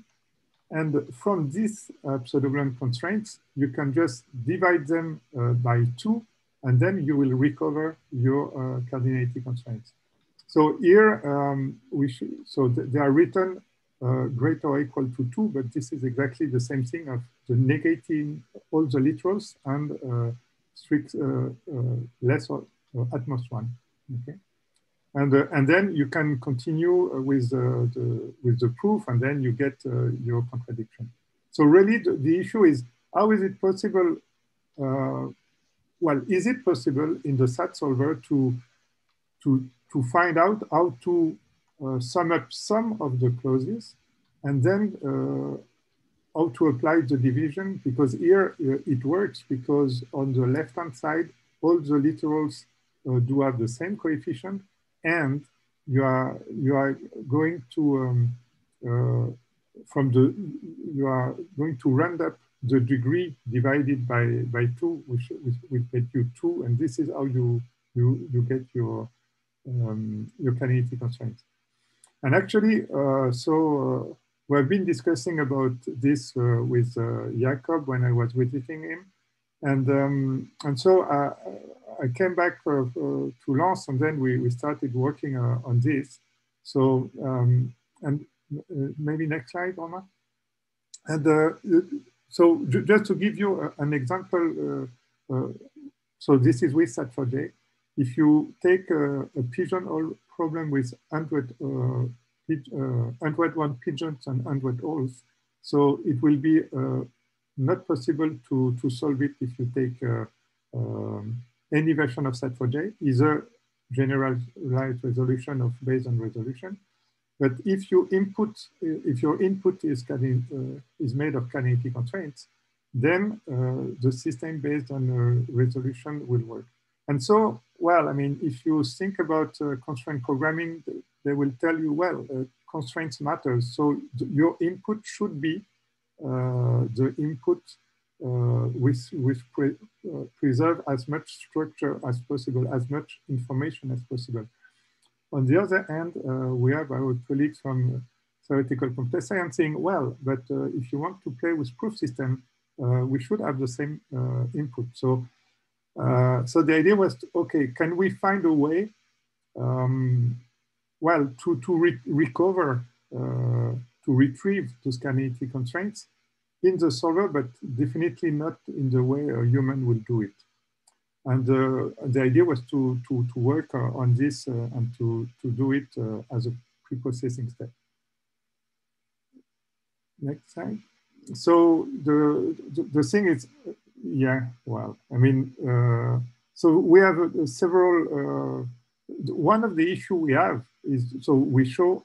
I show you one what we call the pairwise encoding in, in, in the example, but there are actually many different ways to uh, encode cardinality constraints. It depends uh, of uh, the degree. It depends if it's an equality or if it's on at most or uh, or at least. And uh, so the, many different people have been working on many different encodings, which have different uh, strengths depending on what you want in terms of number of variables, in number of uh, clauses, in uh, uh, maintaining or not a consistency and so on.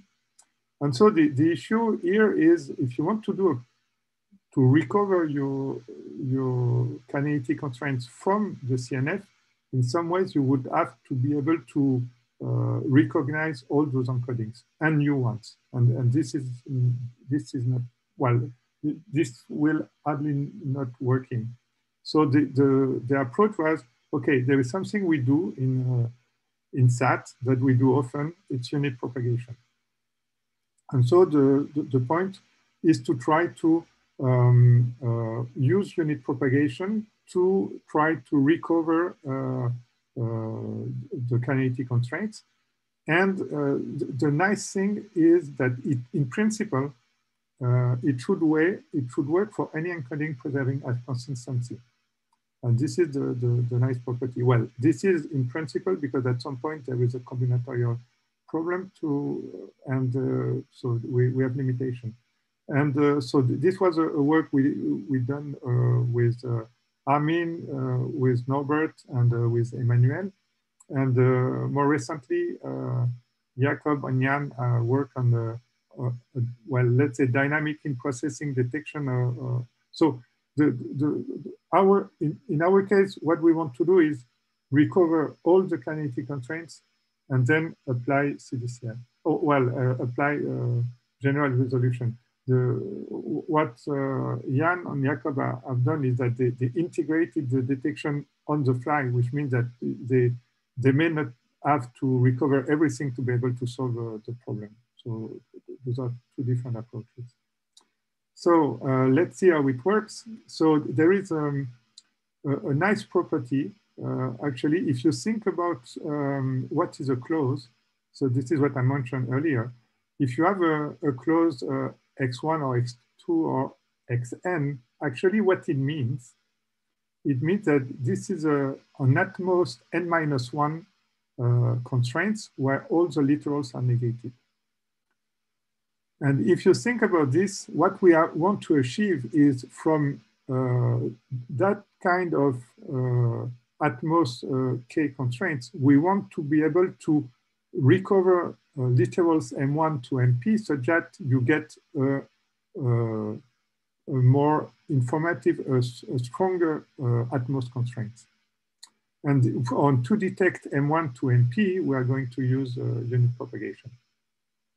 So we can show, see that uh, in one uh, example. So what we want to do, we have a, a, a small formula on the left. Uh, so that, those are only binary clauses. And what we want to do is to recover x1 plus x2 plus x3 uh, less or equal to 1. So let's see uh, how we, we, are going to do this. So let's uh, first consider the first uh, clause. Uh, this is minus 1 or uh, not my, so not x1 or not x2. So this is actually equivalent to x1 plus x2 less or equal to 1. Uh, and so from, from this, uh, we, what we want to achieve is to, do, to perform unit propagation and uh, to be able to uh, see what happens if we propagate uh, x1 and what happens if we propagate x2. So there's a small animation.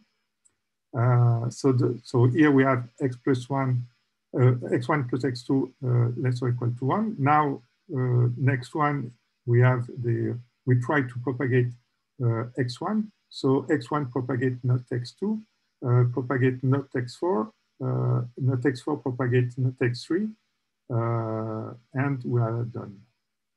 Uh, so we, we the, the, the, unit propagation of uh, x1 propagates uh, x1 and not x2, not x3, not x4. So we do the same thing for x2.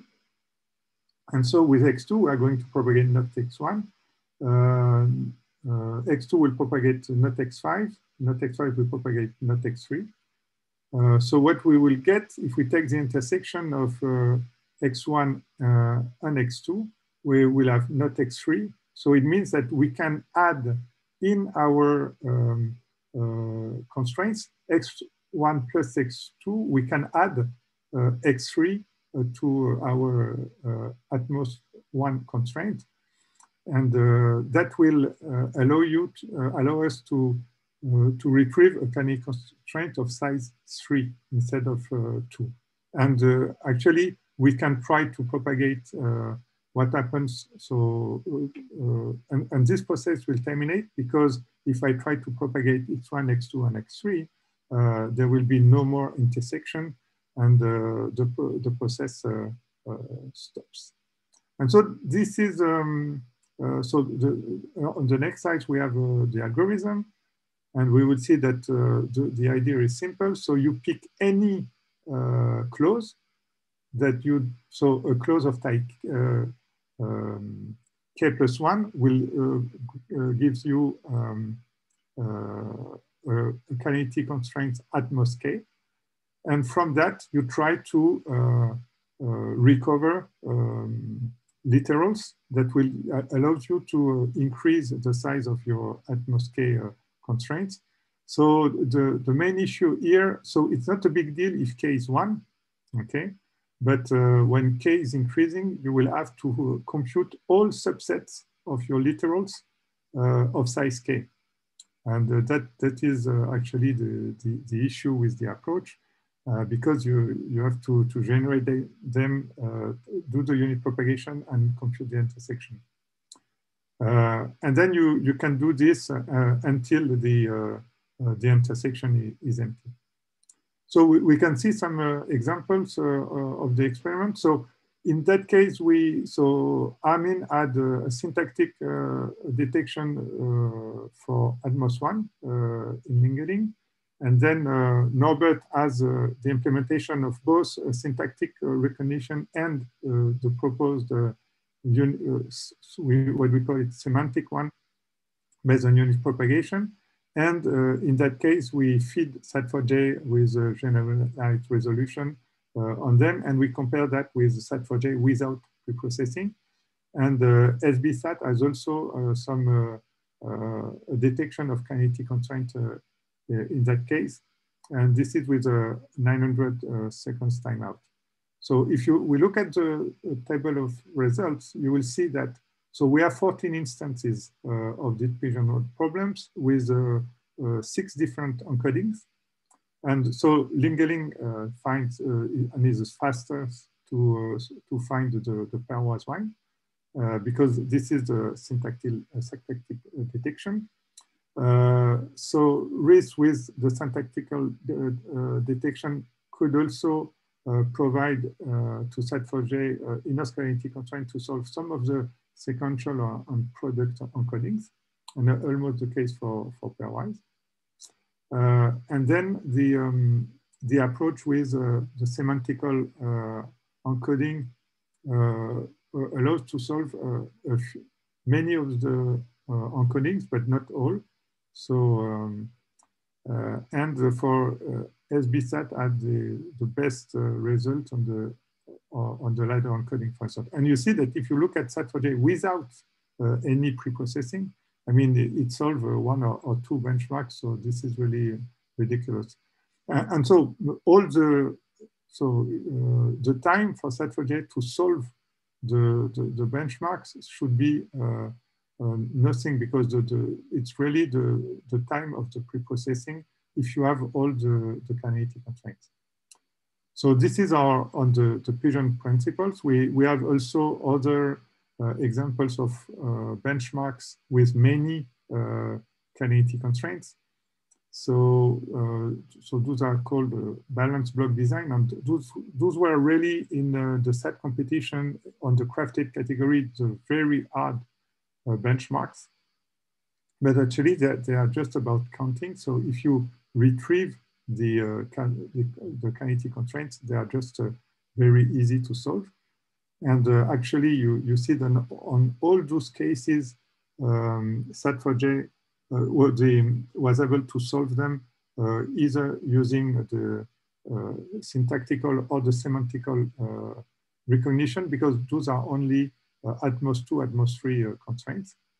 And uh, the, the last case is uh, uh, the so-called challenging problem on the next slide. Um, where we, uh, so the, the, the challenge uh, benchmarks is uh, from Alan Van Gelder and Ivor Spence was um, a, a, case in which you, you have to, it takes, you, you could run a clasp at that time which was the, the, the best solver on crafted benchmarks. You can run it during 44 uh, hours, it would not solve it.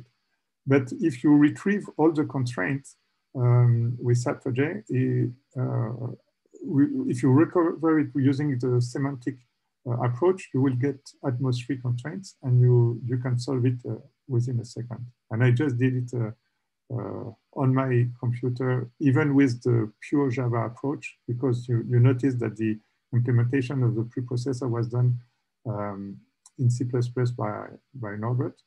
And just to check how many of the constraints we could recover, so we took some Sudoku grids.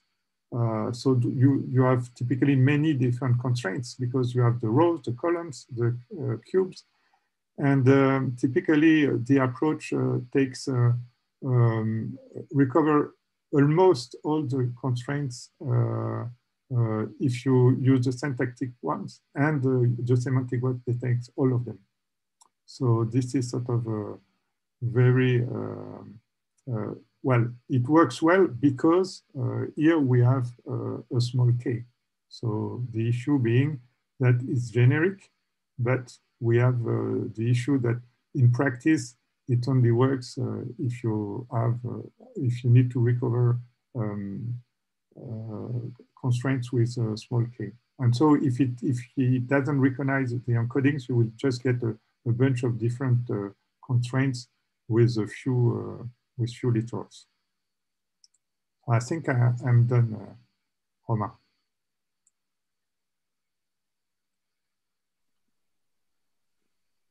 Okay, so uh, maybe uh, unless there are some questions for Daniel, I will continue with some open question about pseudo-Boolean conflict analysis.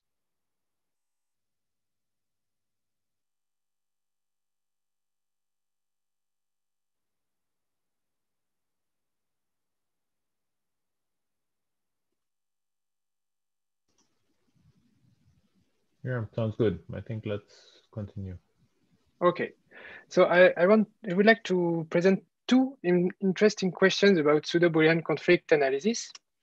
So first, uh, the first question is about improving the backjump level uh, at which the backjump is uh, performed uh, after the conflict analysis in a pseudo-Boolean solver. So the idea is uh, to follow the classical SAT uh, approach and say, okay, when I found, once I found constraints that propagate something, then I learn this constraint and I propagate. So as I said uh, earlier, at the first um, level at which the constraint uh, propagates something.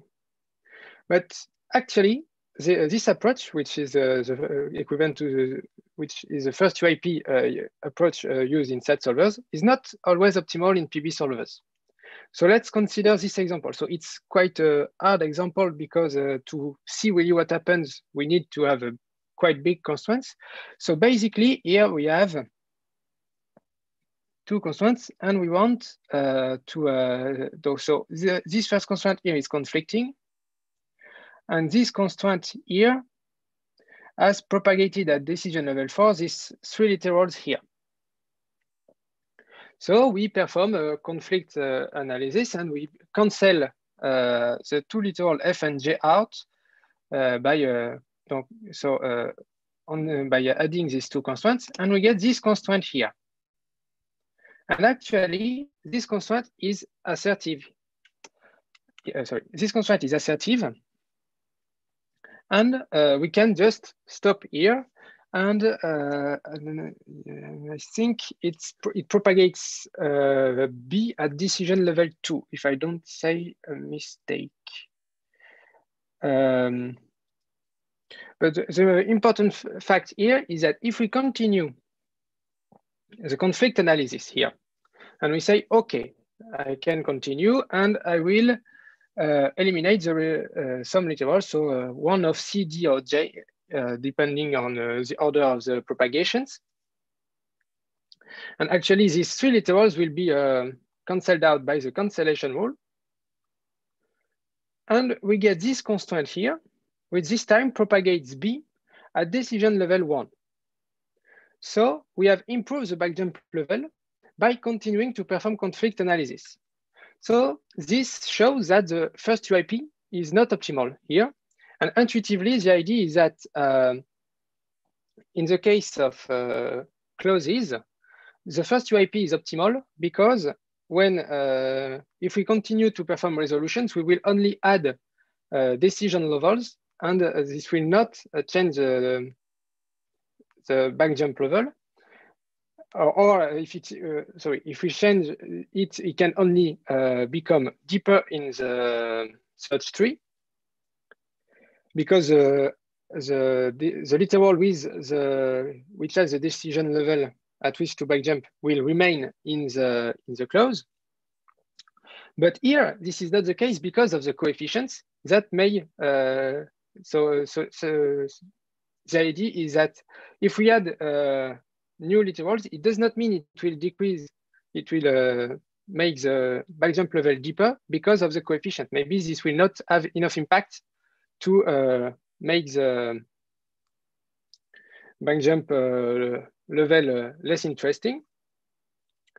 But the problem is that, uh, of course, in some cases, the backjump level will become not, will, um, well, in general, the backjump level, we do not know in advance whether performing the cancellation here will improve the backjump level or uh, worsen it. So it would be interesting to know uh, uh, when to stop actually. So because the algorithm I presented earlier is not always optimal, so we need to find a way to improve it. And currently there is no real um, solution. And uh, because we need to know when to stop. And uh, really uh, if it will, if in two sense, the first one is whether um, we will improve the back jump level and whether we will not break on, on user of invariance. So for instance, if we back jump too high and we, uh, no, no, not if we back jump, but if we continue the conflict analysis too high, maybe we can lose the assertion, uh, the constraint will not be assertive anymore and it will never be possible. So the, uh, to uh, make it assertive again. And this is something we tried at some point. We tried, okay, so if we continue, but so in some cases, the, uh, the constraint is not assertive anymore and it will not become assertive again. So there is no possible no. So that, I mean, you could always run the decision learning scheme, no? Like yes. just as in CDCL, uh, you should always be able to just run the full decision scheme all the way to the top. And worst case, like you get a clause that is asserted. So I don't see that you would ever lose assertiveness. Uh, maybe we should take it offline. Yes, maybe. Uh, this was this was really a first uh, first tried. So uh, we just tried to continue, and at some point the the, the, clause, the constraint was not assertive so uh, we this is really an open question at this point. Yeah, I think you can get it back, but it's it's like again, it, it's worth driving home the, the difference from CDCL because like one of the nice things with first UIP learned constraints is that you know provably that among all the constraints that you will ever see regardless of you know whether you do recursive clause minimization later or something the first UIP is the one that will cause the the longest back jump. Guaranteed 100% provably. Like for for pseudo boolean solvers that's actually false. You can improve your back jump or you can even like uh, you can even maybe derive contradiction in one shot if you keep doing your conflict analysis beyond the first UIP point. Yes indeed and actually this is the case for uh, pigeonhole principle formulae exactly uh, so um, this was actually the first example we had uh, on this Okay, and the second question is about improving uh, conflict detection. So here, for instance, oh, so there's a there's a good question oh. actually. So, uh, oh, yes. so how how do we how how is backjump level computed? How do you compute the backjump level? Ah, uh, so uh, first we need to know whether the constraint is assertive. So we just try to see uh, whether the constraint propagates something at the lowest decision level. Um, meaning without considering the current one, just the, the one before. And to compute the backjump level, we, we look at uh, the different decision levels at which the, uh, there are falsified literal in the constraint, and we check whether it propagates something. So basically, this is done with the slack, so which is uh, the sum of the coefficients of uh, non-falsified literals minus the degree. And if at, the, at a given decision level, the, the slack is lower than a coefficient of a literal in the constraint, then the constraint propagates this literal. So, and uh, because uh, the constraint may propagate literals at different decision level, we need to check uh, whether uh, we have this property uh, of the slack uh, at each decision level, uh, at, at, least at the beginning, the idea is to make check it at each decision level appearing in the constraint. But since we know that propagations are only triggered by uh, falsified literals, we can only uh, check this for decision level at which there is a, a falsified literal in the constraint. Does it and answer the question? Yes. Uh, the, a follow-up question. Your constraint might propagate something at some higher level, but the propagated literal is not relevant for the conflict. Would you take this into account when backjumping? Oh, uh, I'm not sure to see the this. Uh... Well, I think one thing that can, weird thing that can happen is that you can actually propagate something to the same value, right? But you could propagate it earlier no, than mean, before. If you propagate something, then the literal is relevant. Uh, so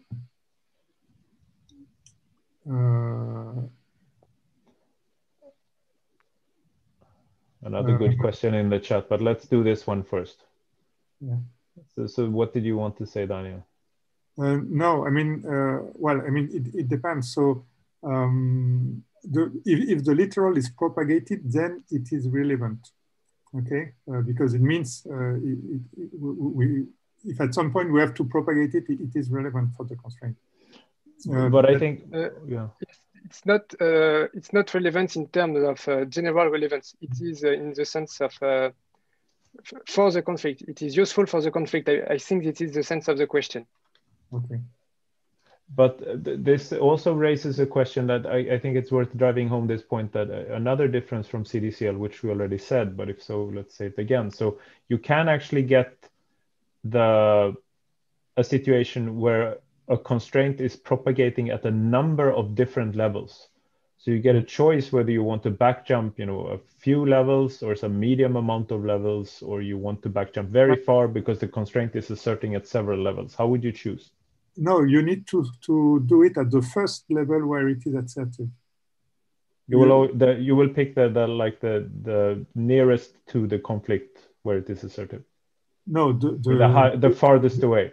Yeah, the, the away. The, the first time it, it becomes assertive, else it breaks your solver invariant, at least the, the, the, the, classical CDCL invariant because you it breaks the CDCL invariant, but actually RoundingSat would not do this. It it will like it will just it will do the shortest possible back jump, I think. Um, yeah. So closest to the root, yes, yes, yes. Uh, oh no, I like the closest to the conflict. Yeah. Uh, do you have assignment levels different? No, I mean we have the same. Uh, so we, we are still in the in, in the old-fashioned CDCL. It means that uh, so the, the, idea is because you you you learn in a new clause. One of the invariant from uh, CDCL is that as soon as you have something that can propagate it, uh, you you propagate it. So to, to, be in a in a state where you, you have to go back to a state uh, as if your Solomon constraint was uh, would propagate if it was there for the beginning. So this is the reason why you have to propagate it from the uh, uh, highest to the root. So again, I don't think we do this actually. So I think what Armin is looking for is in some sense correct that it this is somewhat similar to the situation with chronological backtracking. I think in general, at least the way RoundingSat is, is coded up, unless you know one of the yeah. members of my group changed it since last time I under, understood how this works. Um, RoundingSat will it it will be in general possible that you have something on the trail that has a correct reason but if you started from the top then it would propagate at an earlier level now but you don't know this because you didn't back jump that far that is a situation that you can have at least in RoundingSat yeah, no, but I, know, I know Armin is correct that if you do chronological backtracking, you have different uh, uh, data structures and uh, it will work differently. But Sat4j yeah. is still old-fashioned, and for this, you need to go back to the first to the first decision level, the, the smallest, the, the closest to the root. Uh, the first time the, the constraint propagates, you, you have to go at that level and propagate at that level. Okay. And another, uh, yeah, so another question was from, I'm looking for it now, from Paul Beame. So the, the combinations, uh, these combinations during conflict analysis, presumably, have been chosen as syntactic combinations of two constraints. Is there a geometric way to understand the highest level inferred from a pair of conflicting constraints? I guess the highest level at which something inferred from a pair of constraints would be propagating. Is that the way to read the question, Paul? Yes. Yeah. Well, I mean, no. For for us, it's really um, driven by by the invariance of, of CDCL. It's just that you need to maintain the fact that you are going to propagate as soon uh, as uh, propagation is detected. And uh, for this, you need to go back to the, the, the highest level in which uh, it propagates.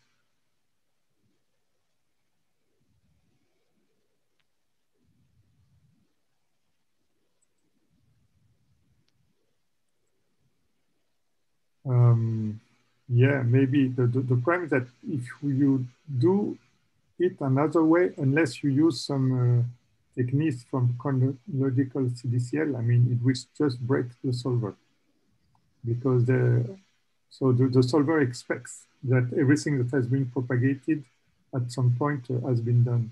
So if you do not maintain that, it, it, it will just not work. I, I think I think everything would still work actually. So um, maybe so, we should take that offline. Stefan, yes. Well, one comment about this. Um, I, I, think the thing is, it's true that you lose propagation guarantees on your learned constraints. So it might be that your learned constraint would have propagated something. However, your um, existing constraints in the database will never be violated with respect to propagation, which is in contrast to doing non-chronological backtracking where I think also original constraints can be violated. And this yeah. is why it will kind of it will still produce the right result because all original constraints are always propagated right. Also, some learned constraints will miss propagations. Yeah, but uh, well, in some ways, you do not really want to do to make any difference between learned constraints and uh, uh, and original constraints. Right? Well, even if you can remove some learned constraints, but um, well. So, so I think one reason why this works is getting a bit technical. Is like so. So what goes wrong when you do chronological backtracking in CDCL? One thing, weird thing that can happen is that you don't have. You can like crash through a decision level because suddenly you thought you had. Um, like you were looking for a first UIP, but suddenly all literals at the last decision levels are somehow gone, and this is because your trail was out of order. Okay, and, and so if you want to do chronological backtracking, you have to extend CDCL to deal with this. But in pseudo Boolean solving, we have to deal with this anyway, because even if your trail is perfectly kosher and in order, it can still happen that you get cancellations so that suddenly you have nothing at the last decision level. Yeah, and sure. then you're like, you're looking at it on the conflict side and like you lost your first UIP constraint, what should I do? Well, the answer is just go continue to the next level. So in some sense, like the extra code you need to deal with chronological backtracking since in CDCL, you already have it there in pseudo Boolean solving because you're you need to deal with that case anyway. That's sort of how I view it. Uh, regarding whether you could somehow get to the highest uh, backjump level by some geometric idea, I mean, in some sense, I guess it's like the, it's the, in some sense, I guess it's the least number it, it's the smallest partial assignment for which the LP, the linear program, is still infeasible in some sense. So I guess you could like maybe talk to an LP solver and get something.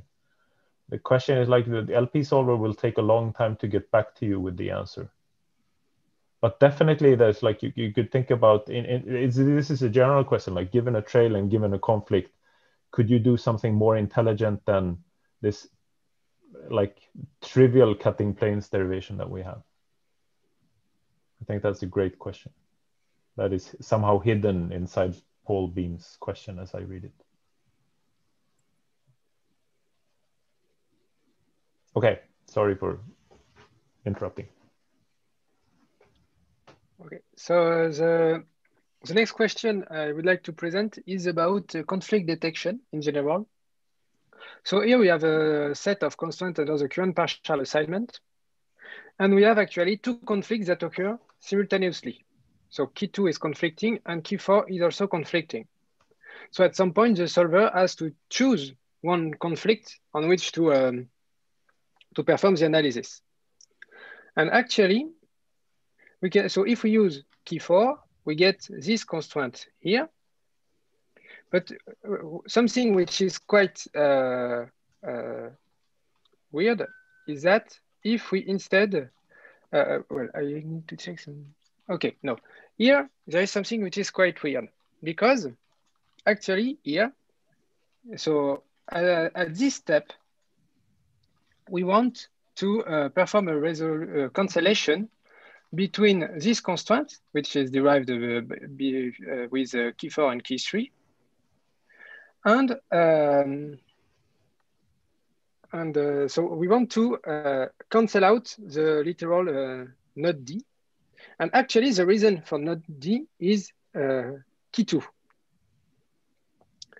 and uh, which is uh, quite strange is that key two is also conflicting.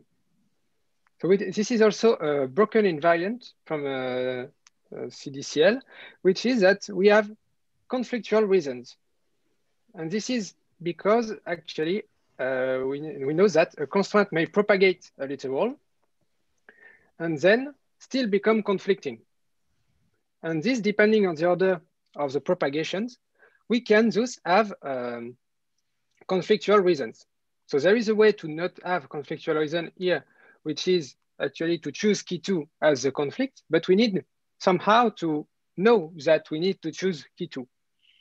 So here there are quite two questions in one, which is, uh, sorry, uh, we, how to choose the conflict uh, in this case, and if we have a conflictual reason, what do we do? with this uh, with this conflictual reason. There are two uh, uh, first ideas that may come, which are we just continue the cancellation as if the reason was not conflictual, or we can uh, just say, okay, I have a conflictual reason, so maybe I just stop analyzing the the conflict I had and I use this conflict instead.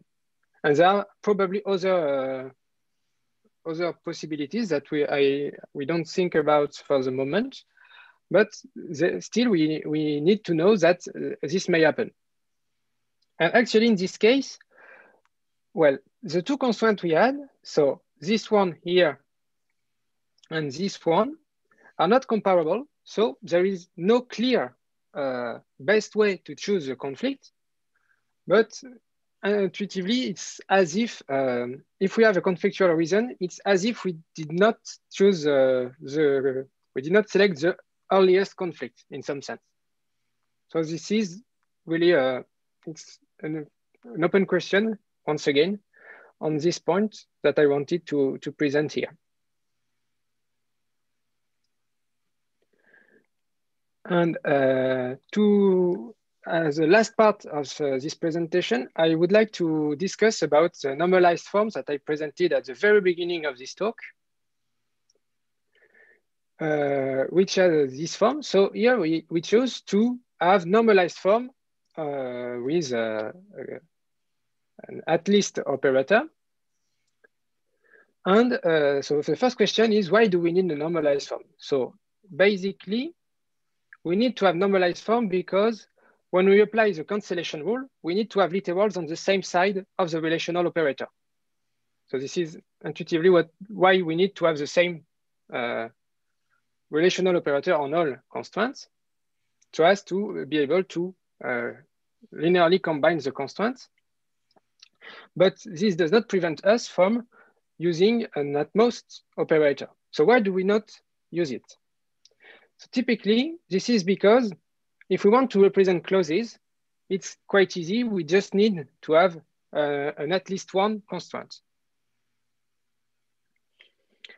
So if we have clauses that are represented natively, we can use many of the data structures that are, that are designed for CNF formula in uh, SAT solvers, such as, for instance, the watch literal scheme.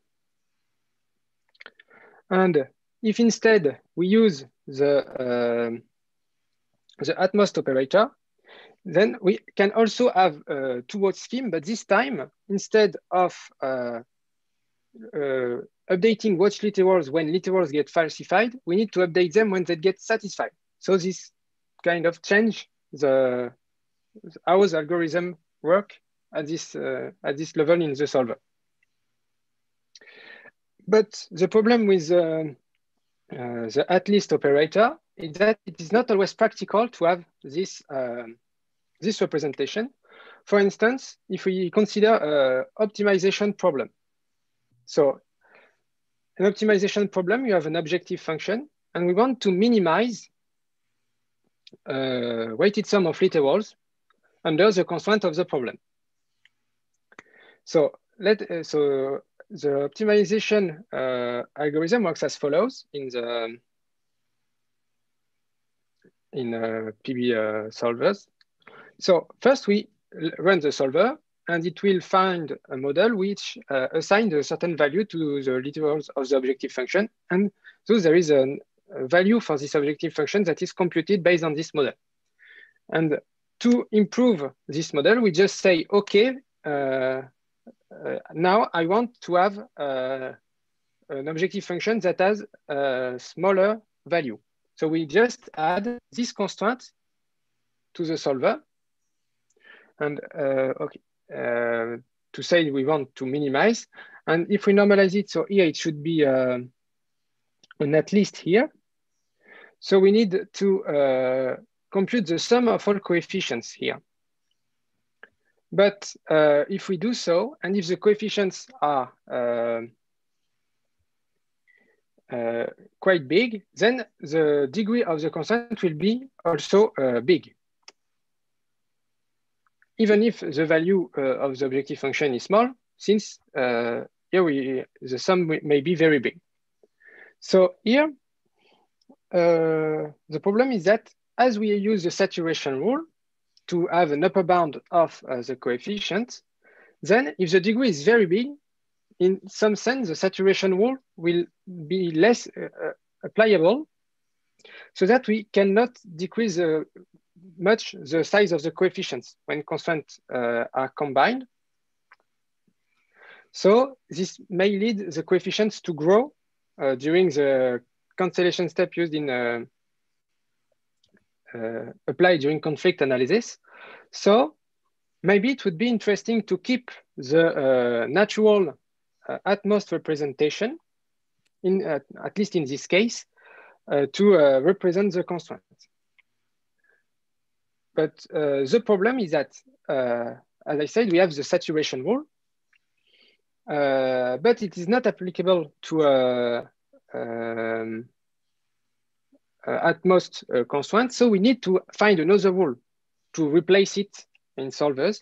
And actually, there is a, a rule that is used uh, as a preprocessing in uh, mixed integer programming solvers, which is this one, which uh, can be used uh, instead of the saturation rule when we have uh, at most constraints.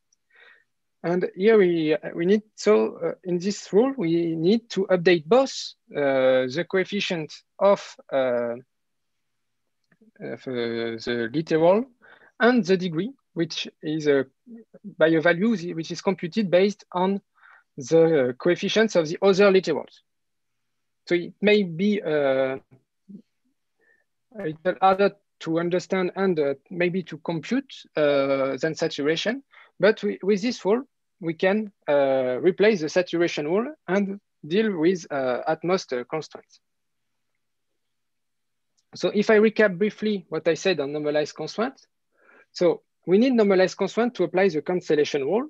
So we need to have to choose uh, either to use at most or at least as a relational operator the at least operator is useful to represent clauses, but sometimes we, we would prefer to use an at most operator, for instance, an optimization problem. And we need to adapt again the proof system if instead of uh, using at least uh, constraint, we use at most constraint, for instance, using the, the rule I presented in the slide before. And ideally, it would be interesting to have a way to represent both uh, normalized forms with at most and at least, and to apply the operation on which is on the representation that seems better, as this is done, for instance, for SAT encodings of, uh, of pseudo-Boolean constraints. So now uh, I will conclude. So uh, first, a uh, brief recap of what I presented in this talk. So um, current implementation of cutting planes proof system in PB Solver are not fully satisfactory as we cannot exploit uh, in PB in, actual, in current PB Solver its full strengths. So for instance, uh, we need, if we want to derive a cardinality constraint, we need to add additional steps uh, that are not taken into account during the conflict analysis or at some other points to, and uh, to derive uh, PB constraints in general from uh, clauses. And also, we, I, I, presented that irrelevant literal may be introduced during conflict analysis uh, when uh, combining uh, constraints and this literal, irrelevant literal will then become artificially relevant may lead to the inference of weaker constraints. And two, uh, as a countermeasure, we can apply the weakening rule of ineffective literals, but this is a really aggressive countermeasure that only derives clauses. So we need, we, it would be interesting to have uh, something uh, less aggressive. And the best weakening strategy that uh, we have in uh, SAT4J currently is the application of the partial weakening rule followed by a division step. And also I presented a complementary heuristic implemented in CDCL PB solvers, in, uh, which are um, which can be better adapted from the SAT uh, definitions to uh, better take into account the properties of PB constraints and to improve the performance uh, in the in SAT4J, uh, at least in this talk.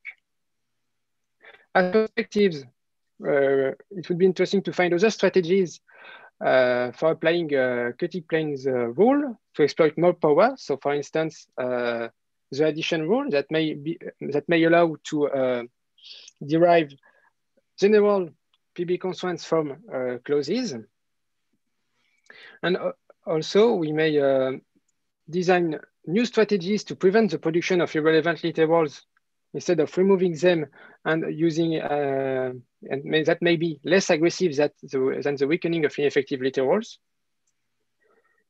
And we can combine uh, the weakening strategies and also the different uh, CDCL strategies I presented to exploit their complementarity and uh, to uh, better study their interactions, for instance, using uh, uh, automatic configuration algorithm. And uh, so here I presented mostly uh, the, the impact of the new strategies in SAT4J and on decision problems. So it would be interesting to, to implement the new strategies in other solvers, such as RoundingSat, for instance, and to study uh, the impact on uh, optimization problems or other problems in general, that uh, decision problems. And as also, it would be interesting to find answer to uh, the open questions I presented, such as how to improve the detection of the optimal backjump level during conflict analysis, and how to deal with the conflictual reason and that may be encountered during conflict analysis. So thanks for your attention and uh, I will take any questions that you may have.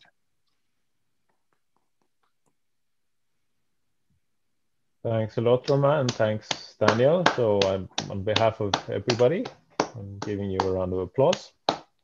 Um, a true deep dive into the inner workings of pseudo-Boolean solving. We had a lot of questions throughout the talk, and it's already fairly late here in Europe, so we should let you off the hook fairly soon, I guess. But are there some final questions from the audience?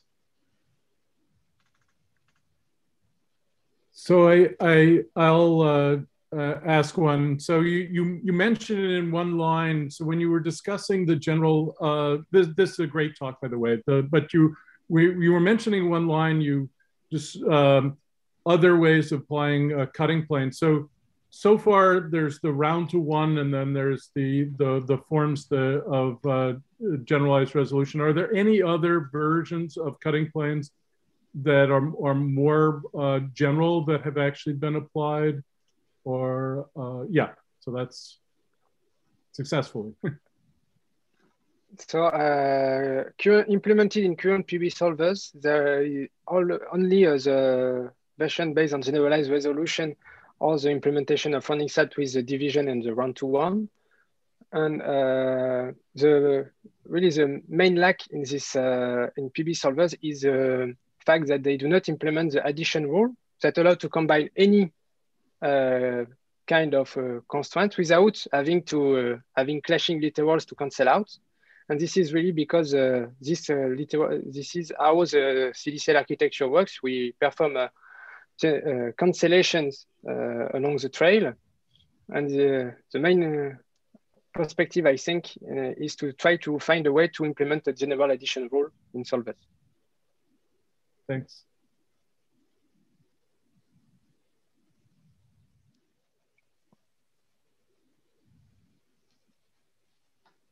So just to follow up on this question, just like also when you about other cutting plane systems. So what about um, what do they do in integer programming, for example?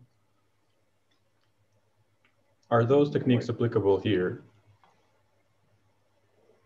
I'm not really uh, familiar with, uh, okay. with integer yeah, so, programming solvers. Yeah, so this is what so, I was curious about. I just I know that they apply lots of cutting planes during their algorithm, but I don't know exactly the details. So I was just hoping if there's some discussion on that. But okay. So I could. Uh, so so the the point is that you don't have the, you they they do add lots of cutting planes, but they do it during mm -hmm. the search phase. Uh, they mm -hmm. don't have this kind of so what they totally don't have is uh, this conflict analysis based on linear constraints that pseudo boolean solvers have this seems to yeah. be entirely lacking they do have a conflict analysis, but to the best of my understanding, after talking to people who actually know mm-hmm. um, how MIP solvers work and implement them, uh, they the way MIP solvers do conflict analysis is that they extract clausal reasons for everything, and then they basically run CDCL, mm-hmm. which which is much much weaker than what Romain described. But then on the other hand, what what they will do on during the search phase they will you know they will solve lp relaxations and then repeatedly add cutting planes and resolve the lp relaxations. And this is something that um, pseudo boolean solvers have traditionally not been doing at all. Mm-hmm. yes i think they do the lp and then they try to make a cutting plane that improves their lp but this is not applicable like in the cdcl setting i suppose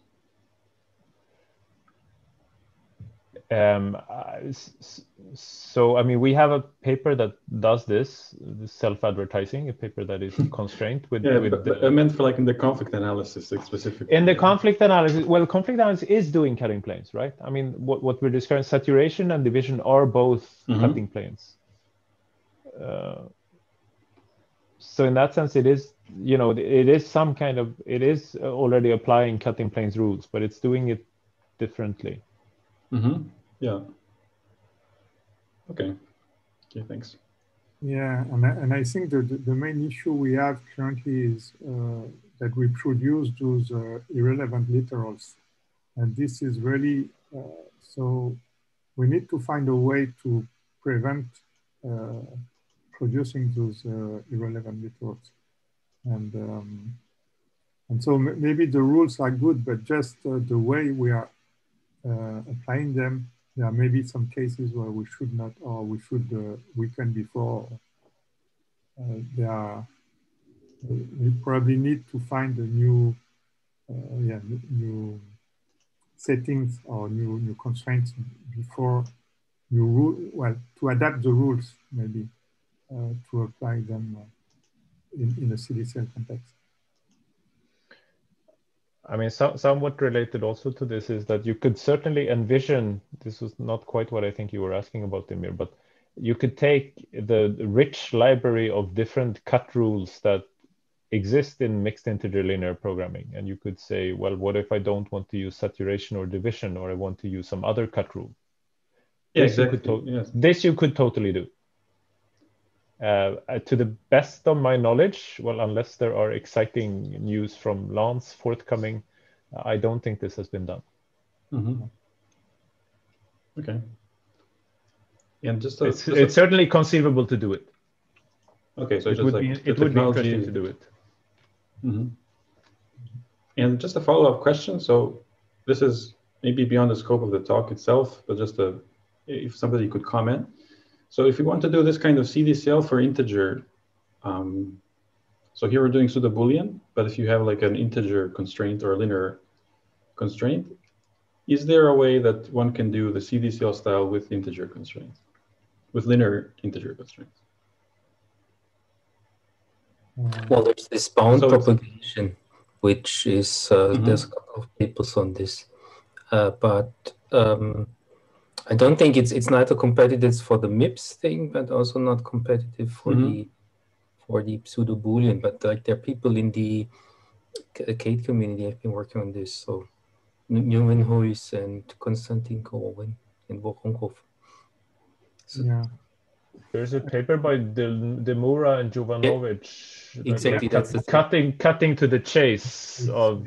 Exactly. Yes. So this is, but it somehow doesn't seem to fly. It, it doesn't three, seem to work three, in practice. Three groups which have exactly tried that. Yeah. I mean, there's also this IntSat approach which tries to just kind of resolve a linear inequalities and hopes that it gets a conflict, but it's not guaranteed to actually get it. Yeah.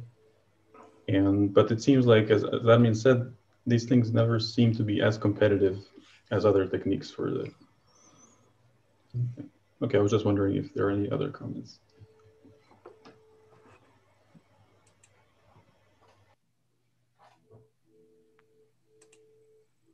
Well, I have one comment, but I couldn't find the paper. I thought it was by Lakhdar, but by Daniel's uh, colleague where yeah. he had like a way of um, reducing the, the back jump level even in CDCL by kind of doing a cyclic resolution. And yeah. you allowed it in, in, one particular case.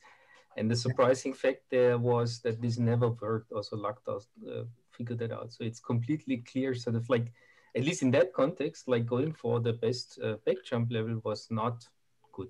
so they have a paper on this, but they, they only have negative results. And I also had this, and it was completely unclear to me why, why reducing the conflict level is counterproductive. Anyhow, so I couldn't find the paper. So I look, I, I maybe somebody has, do you recall it, Daniel, or I don't know? Yeah, but I, think uh, this is a paper in 2008, no? Or uh, something? Yeah, some, some, uh, but I, I, I couldn't find it. So it's a pretty old one, yes. Uh, I, I think it's a paper at, uh, uh, ICTAI, no? I think it's ICTAI 08 or something like this.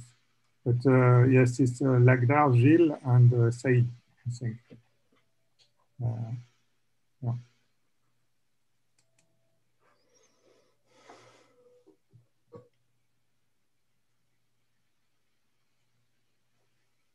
Okay. Any other comments or questions before I think? We, I mean, I think we deserve the right to call this a day, but just to give a final opportunity to people.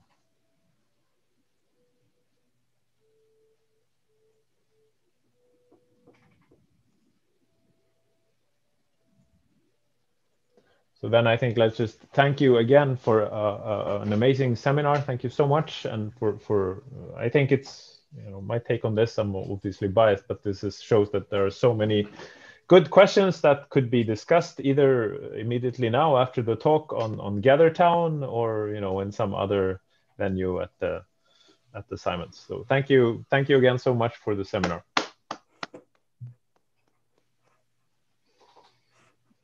Bye. Bye.